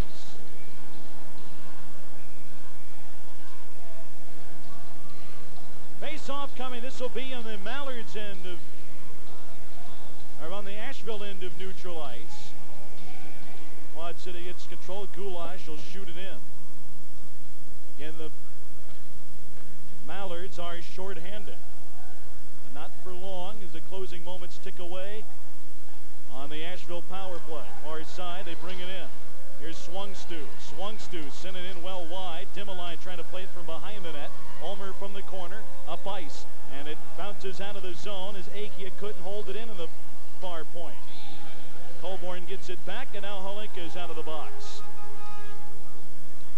Benefield send it in toward the net, taken away by Quad City, and Gulash dumps it ahead with 12 18 to go here in this third period. Mallard's maintaining a three-goal margin. Mallard's out in front, 4-1 our score with 12-18 to go third period. This is Iowa Wireless Quad City Mallards Championship Hockey. Fuel Fire Desire 2001-2002 Mallard season tickets are on sale now. Can be the price increase. May have thought that deadline passed, but no. Field in a celebratory mood here early. We're not going to allow that deadline to just yet. You can still renew your season tickets at this year's prices. Calling 764-7825. 764-7825 for Mallard's 2002 season tickets. Here comes Ruin as his puck taken away by Jobin and clears to center ice. Hlinka races after the puck, but Belecki clears to center. Mallard's changing. Get it back. They move it through, but Asheville will try to move it back into the offensive zone. They need to change. The puck winds up over the Quad City goal, and Johnson clears it up near side. Hopped off of Armbrust's stick, back to Tom Wilson. Puck rolling length to the ice, right on net. Demeline there for the stop. Sends it up near side, and here's Wilson again. Team still looking to get some kind of offensive pressure, down three, and it's getting desperation time for Asheville. Off on the far side, Andreev checked out of the play, and Hirsch gets the loose puck. Hirsch looking for Armbrust near side. Pass just out of his reach, but he gets to it around Rudenko, and it's tied up behind the smoke goal. Asheville gets possession and sends it up the near side. Toporowski holds it in. Here's Ulmer. Ulmer right side, sends it in front, kicked out by Belecki. Ulmer with it back. In behind the net. Armbrust checked off the play, but here's Serov, backhanded in front, no one home, but Serov get, or Beckett, Ulmer gets to it, sends it to the right side, and it bounced off the corner right to Belecki, who dives and covers. As we get a good look at uh, Topper there, going back to the bench, he's played such a disciplined uh, championship series right here. It's, in a way, it's night and day. Uh, people back home probably expect to see him throwing the gloves uh, down every night and, and, and throwing the fist, but uh, uh, as we see Topper sitting there next to uh, Paul Johnson. Both of them have played unbelievable. Dr. Dr. Johnson, it's funny, I've I talked to him quite a bit throughout the season. We're, we're pretty close friends, and this hopefully will be his his first and, and last championship here tonight. we've talked about it quite a few times, and he could think of no better way than to go out on top, and it's great to see him playing so great out here tonight. Defenseman Paul Johnson could be his last game as he looks to go to medical school following this season. And then move on. A dumped in by Asheville. Mallards maintain control. Paul Johnson played juniors in the USHL. Serov up ice to Gibson. Sends it ahead. The Benefield intercepts. Then college hockey at Colorado College. So, and you know this, Ryan, as you played juniors too, hockey and college hockey as well. It's been a part of your life for so, so long that this has got to be an emotional night if it comes to a close here in 10.02 for Paul Johnson. I agree. Mallards out in front. 4-1 our score. Quad City leads it by three midway through the third. This is Iowa Wireless Quad City Mallards Championship Hockey. Sorry about that. We are back. Out in front 4-1. So far, so good indeed. Asheville intercepts. They try to move it in. You want to know how popular coach has gotten? that sorry to interrupt you, but that so far so good is uh, is kind of a funny thing. He, he was asked earlier uh, how, how he thought things were going to the playoffs, and he said so far so good. And now we have a sign uh, quoting him here in the in Asheville tonight, and it's, it's great to see that uh, how well he's been accepted in the community too. That was weeks ago, but it kind of sums it all up, doesn't it? Yes, it does. That's for sure. What the Mallards have worked hard for since October 1 could be closing in in 9 minutes and 20 seconds. Mallards dump it the other way. Asheville goes back in their own end to pick it up. Quad City changing. Up the near side. Swung Stu dumps it forward. But Hirsch sends it out of the zone again. That's going to roll link to the ice and looks to be an icing call and is. How far ago does October 1 seem and oh. day one of training camp, Ryan? You know, it's funny. Uh, you know, look back and, and you talk about, you know, if the season went fast,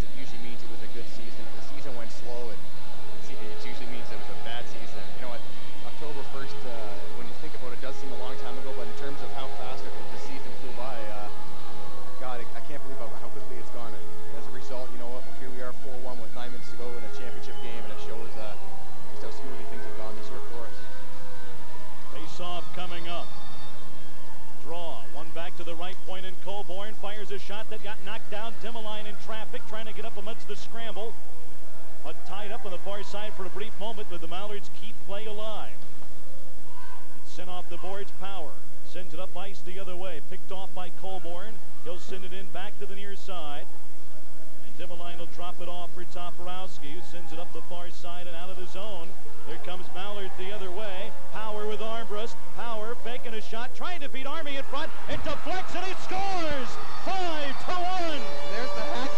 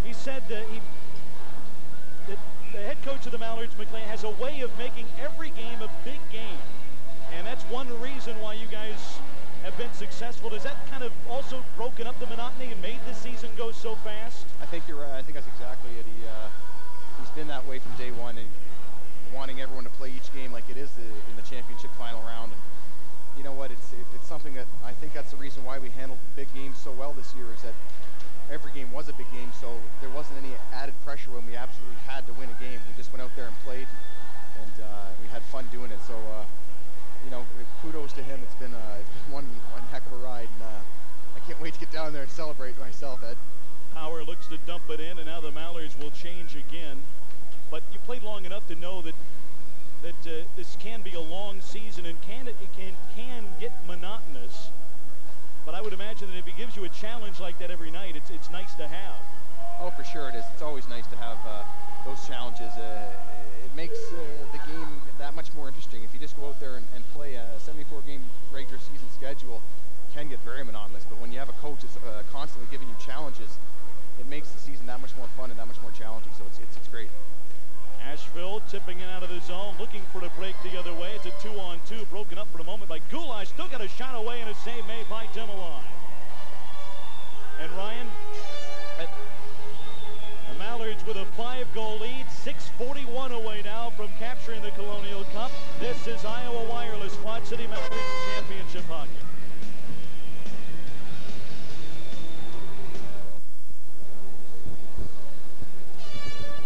Beach back with you at the Asheville Civic Center here in North Carolina. Ryan Lindsay is going downstairs. He will be with us throughout the postgame show with interviews with his teammates and bring you the on-ice celebration as a participant in the on-ice celebration. Ryan Lindsay, forward for the Mallards, will take you on the ice and inside the Mallard celebration, which looks to be six minutes and 20 seconds away. Quad City leading by five. We'll try to close it out. Hugo Proulx on the right point, trying to send it ahead. Pass broken up, though, by Rudenko. Rudenko comes in around the left side, looking to try to center, but it is all the way through to the far point where Colborne tries to get a shot away. That's blocked by Bjornley. They battle into the corner. Battle away at one another as it's tied up along the corner and tipped back behind the net to Jobin. Mallards looked at carried out the other way. McFarland backhands along the boards. Quad City is changing. Asheville sends it up ice. Here is Ruin. Dumps it off to his right. That's taken away by Paul Johnson. Dumped back in from center by Asheville. Dimmeline corralling a bouncing puck. Toporowski looks to steer it out of there. Lost it, and here's Andreev now. Andreev to the high slot. Sends it back to the corner, and the Mallards will retain possession again. There is Johnson up the far boards. Johnson gets it back, starts to break the other way. Here's Hirsch. Harold Hirsch fires a shot. Stick save made by Belecki, and it's cleared again by the smoke. Toporowski up the near side. And a whistle blows the play down as we have a two-line pass, I believe, called against Quad City with 5.02 to go in this third period. Face-off will be in front of Joe Dimmeline.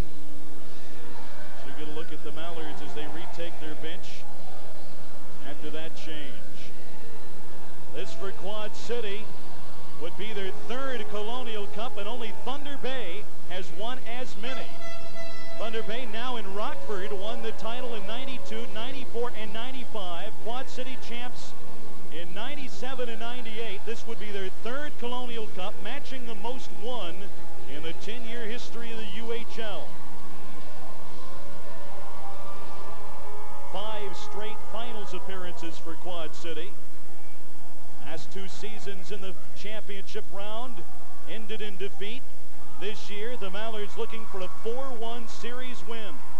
Kelly Perreault shoots it in along the far corner.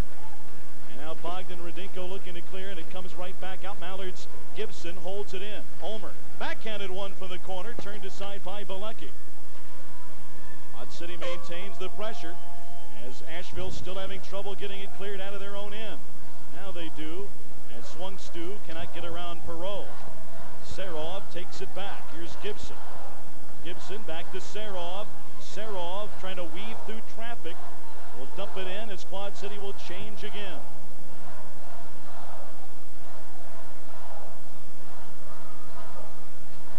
Up the near side. Rudenko backhands it, finds Ruitt. Ruitt trying to fight through a couple of defenders. Has it for Raposa, who shoots it wide.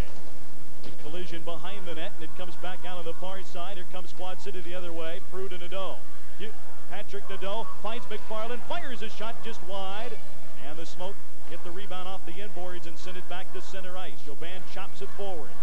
Asheville gets it back. Ruid at the blue line couldn't corral the pass, and Dimmeline sends it back the other way. Loose puck picked up by the smoke. They dump it back in with three and a half to go. The Mallards had a 3-1 lead at the end of one, got on the board inside a minute. It was a 2-1 game and a Nashville power play goal midway through the third, but Steve Gibson scored in a power play of his own. Quad City had a 3-1 lead at the end of one, led 4-1 at the end of two, and now two goals midway through the third have them out in front by five. They look to move it ahead. Kremen runs into the boards and coughed it up. Chad Power dumps it in the other way. Asheville looks to carry it out of their own end. Puck tied up and dumped back into the near corner. Dimmeline there to stop it. Up the near side, here is Gibson. Backhands it up ice. Serov nearly got to that puck along the blue line. And a whistle, and I believe we'll have a penalty call coming as a stick snaps in half. And we'll see who will take this infraction.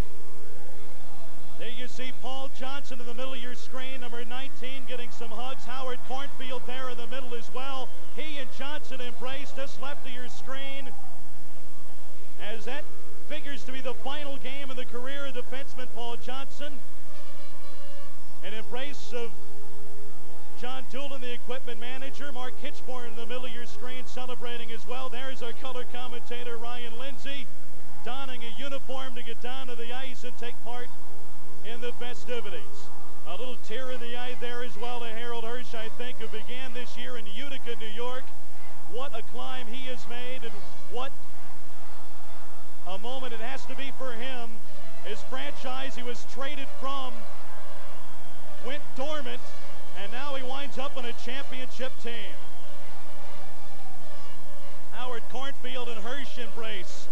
You know how appreciative Hirsch must be to wind up a Mallard. Hirsch with Lowell at times in the AHL. Mallards acquired him, purchasing his rights from Mohawk Valley. And now the ceremonial handshake will come to center ice as Hugo Proulx now has won his third title as part of the Mallards. And the two teams will shake hands at center ice.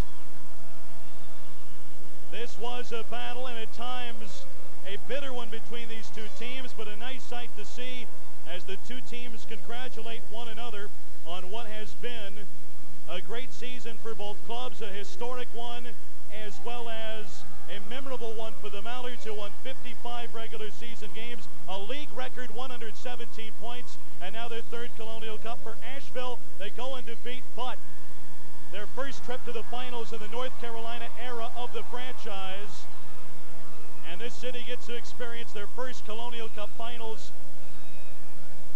as they were champions of the Eastern Conference, going 6-0 in the postseason. Handshakes taking place in a few moments. We'll be joined by the commissioner of the UHL, Richard Brossow, who will present the vice president of hockey operations, Howard Cornfield, and the Mallards head coach, Paul MacLean. The Colonial Cup and award them for their 2001 UHL championship. Hugo Proulx, part of all three Colonial Cup teams and all five 50-win seasons. He and Mark McFarland, both members of all three championship clubs, and all both of them were here for all five 50-win years as well. Quad City wins the series, four games to one the final count of the 2001 Colonial Cup Finals. You see Mark McFarland, number 22, he embraces Brad Saroff, and there is the trophy. The Colonial Cup. The Mallards started work toward recapturing that crown October 1, first day of training camp, and now it's finally arrived. Another man in the center of your screen in the jacket, John Doolin. Nearly 30 years in professional hockey for the Mallards equipment manager. This is his first championship. And what a great feeling it has to be for him. One of the great guys in this game and 20 years in the National Hockey League. He's seen a lot of his teams come close, but this is the first ring and first cup he will get a chance to experience as the Mallards have captured the title. There is the commissioner of the UHL, Richard Brossow,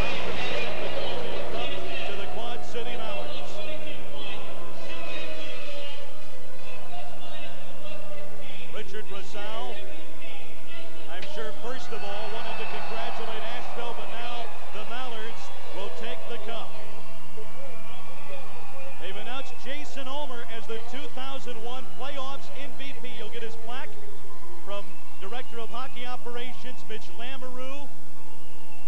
And Jason Ulmer with a terrific postseason. He had an assist tonight, 21 points to lead everybody in the playoffs in scoring. The UHL Rookie of the Year is now the 2001 playoffs MVP. Howard Cornfield congratulating him. Mallard's captain Steve Gibson skates over to the table at center ice. As Richard Brossow looks to hand over the Colonial Cup to the Quad City captain. There it is, Gibby. Steve Gibson raises the Colonial Cup as the Mallards have captured it for a third time.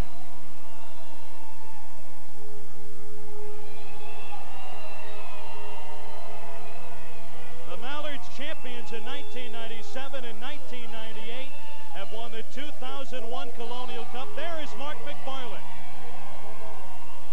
His third title with Quad City.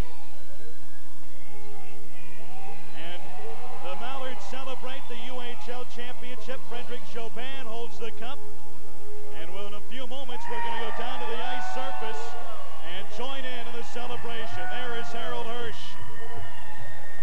You can't help but to be emotional. Here's Paul Johnson after his final game. His final game,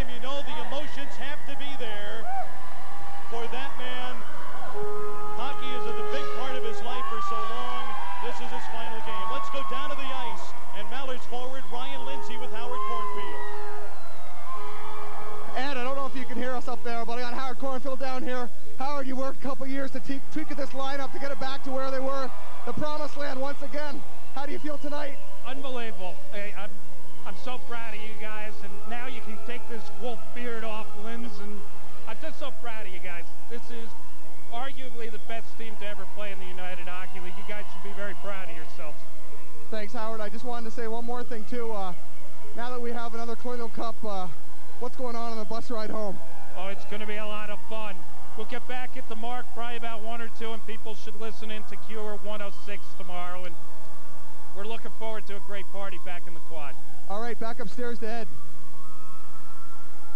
The Mallards celebrating the championship. There's Martin Villeneuve, who had a terrific postseason with a 181 goals against average. He won four of his five playoff starts. Dan Bjornley, rookie out of Wisconsin, had a great playoffs as well.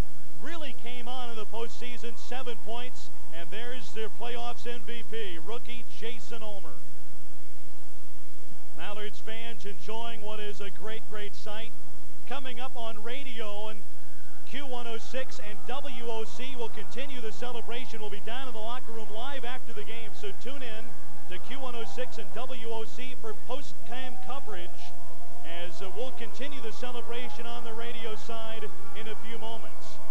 We'll continue the celebration, though, here at the Asheville Civic Center as we'll go back to Ryan Lindsay for a few moments and continue the Mallard celebration. There's our color commentator with the cup who hands it off to Etienne Drapeau, who became a very popular, maybe one of the more popular Mallards players over recent years. Even wrote a song about our color guy, Ryan Lindsay. Peter Armbrust, the other rookie out of North Dakota, a great key element in this postseason drive with tremendous uh, gritty and great defensive uh, play as the Mallards forward. And what a great sight it is as the Mallards celebrate the Colonial Cup and now gather in for the championship photo. You see Kelly Perreault in front, veteran Gary Gulash, who has been part of two near misses for the Mallards in the finals the last two years. And the Colonial Cup takes center stage for this shot as the Mallards smile and celebrate their 2001 title. Quad City Mallards champions of the United Hockey League.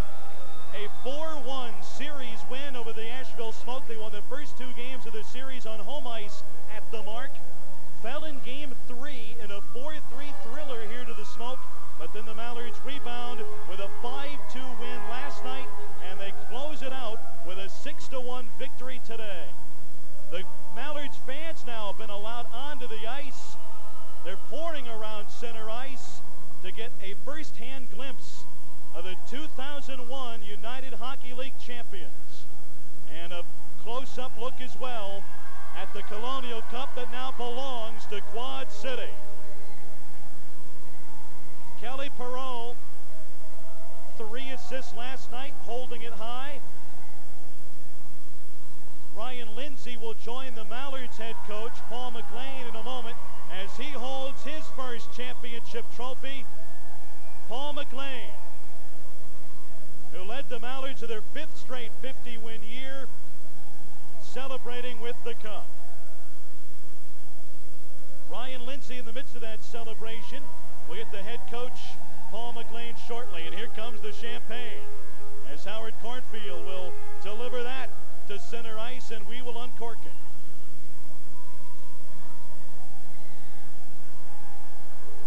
They hand it out. Kerry Toporowski gets a bottle as the Mallard celebration continues. Let's head back down to the ice as Ryan Lindsay as the head coach of the Mallards, Paul MacLean. All right, I'm joined here with Coach MacLean. Coach, saw you hold the cup up. How'd that feel tonight to be able to hoist that bad boy? Well, Lindsay, you know how it feels too. It feels pretty darn good. We've worked very hard all year. Yourself, the whole the whole team, we've done accomplished so much this season, and to cap it off with the championship is just it just makes it really really. Cool. Coach, a lot of the guys were talking how uh, once the playoffs started, you seemed to be a little bit more uh, reserved as far as uh, joking around and stuff around the room. all right, so uh, I guess that was the purpose. All right, here we go.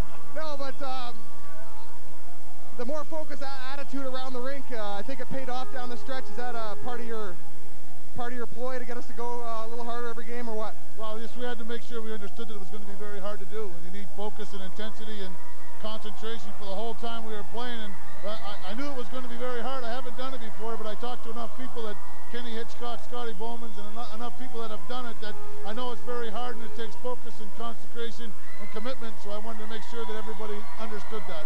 Coach, let me say congratulations right now on, on TV for you, but hey, excellent year. Thanks for everything. Thank you, Lynn. Thanks for all your work. Mallard gold, number one. Back up to Ed.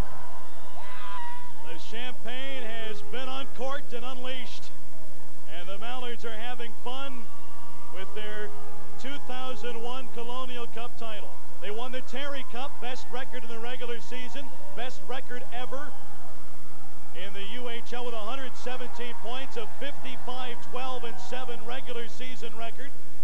No team had ever, they matched the fewest wins in a regular season, matched the most wins in a regular season, and accumulated the most points ever in a United Hockey League regular season. And you see it doused Paul MacLean. What a great sight it is. The Mallards continue to celebrate. Ryan Lindsay. I believe will be joined by a few more teammates as they continue the celebration and Mallards fans joining in as well as Quad City wins it, closing out this best of seven series with a four to one series victory. Mallards are winners six to one tonight.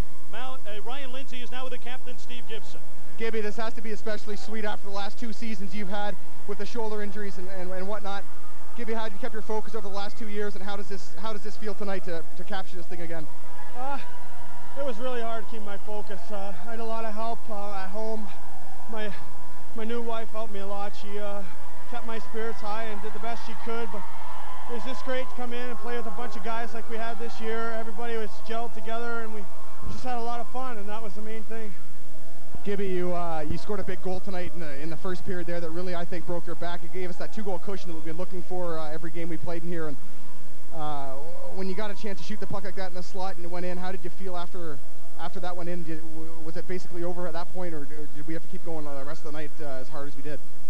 Actually, I just wanted to keep going. I just wanted I didn't want to come off the ice, but uh, it, it, was a big goal for us, especially on a five-minute power play. It was just a great feeling to score. I, like you said, it's been a long two years, and finally I could just finish the season and not be uh, too badly hurt.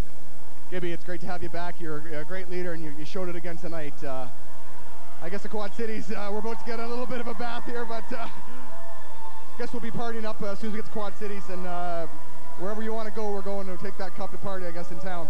Thanks, our dog. Thanks a lot, Gibby. Back up to Ed. Ryan Lindsay down on the ice surface with the Mallards captain Steve Gibson. Again, Gibson missing last much of the last two seasons with injuries and an emotional year for him. Was married on New Year's Eve and now celebrates a Colonial Cup championship for what has been a very memorable year for him as well. Now, what a year it has been for this Quad City Mallards franchise as the players continue to celebrate down on the ice. It started back on October 1 with training camp, continued through a great ride. The Mallards started the year with a perfect 6-0 record before falling to defeat for the first time in late October. They put together some tremendous runs. I don't believe any Mallards fans will forget what was a 15-game unbeaten run in November and December as Paul Johnson embraces Ryan Lindsay. And of course, Asheville, the last team to beat the Mallards in regulation all the way back on February 9th. That's when the championship drive and the drive for five and five straight 50-win seasons really picked up steam. The Mallards steamrolled to a 22-0-4 record. Their final 26 games of the season, they went unbeaten and put together a great playoff run as well.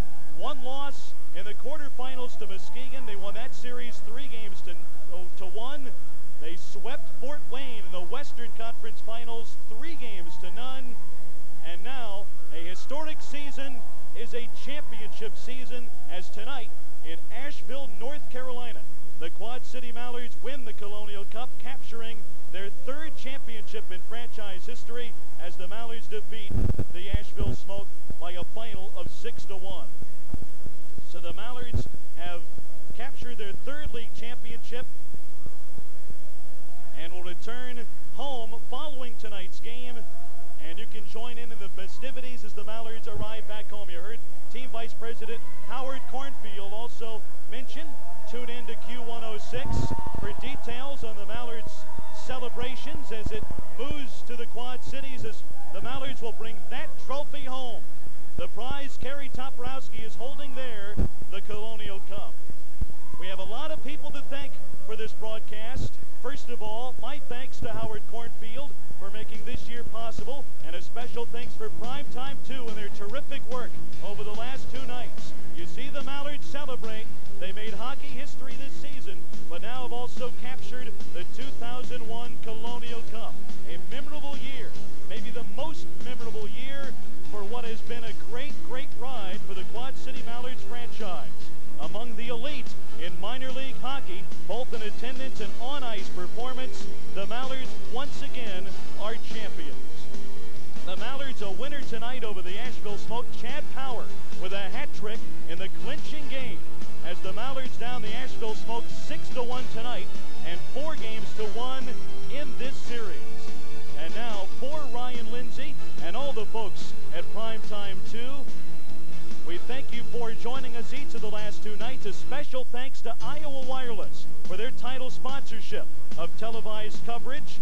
A thank you to Iowa Wireless and all the Quad City Mallards for making this a special year, but particularly for those of us that have been involved in this great telecast over the last two nights.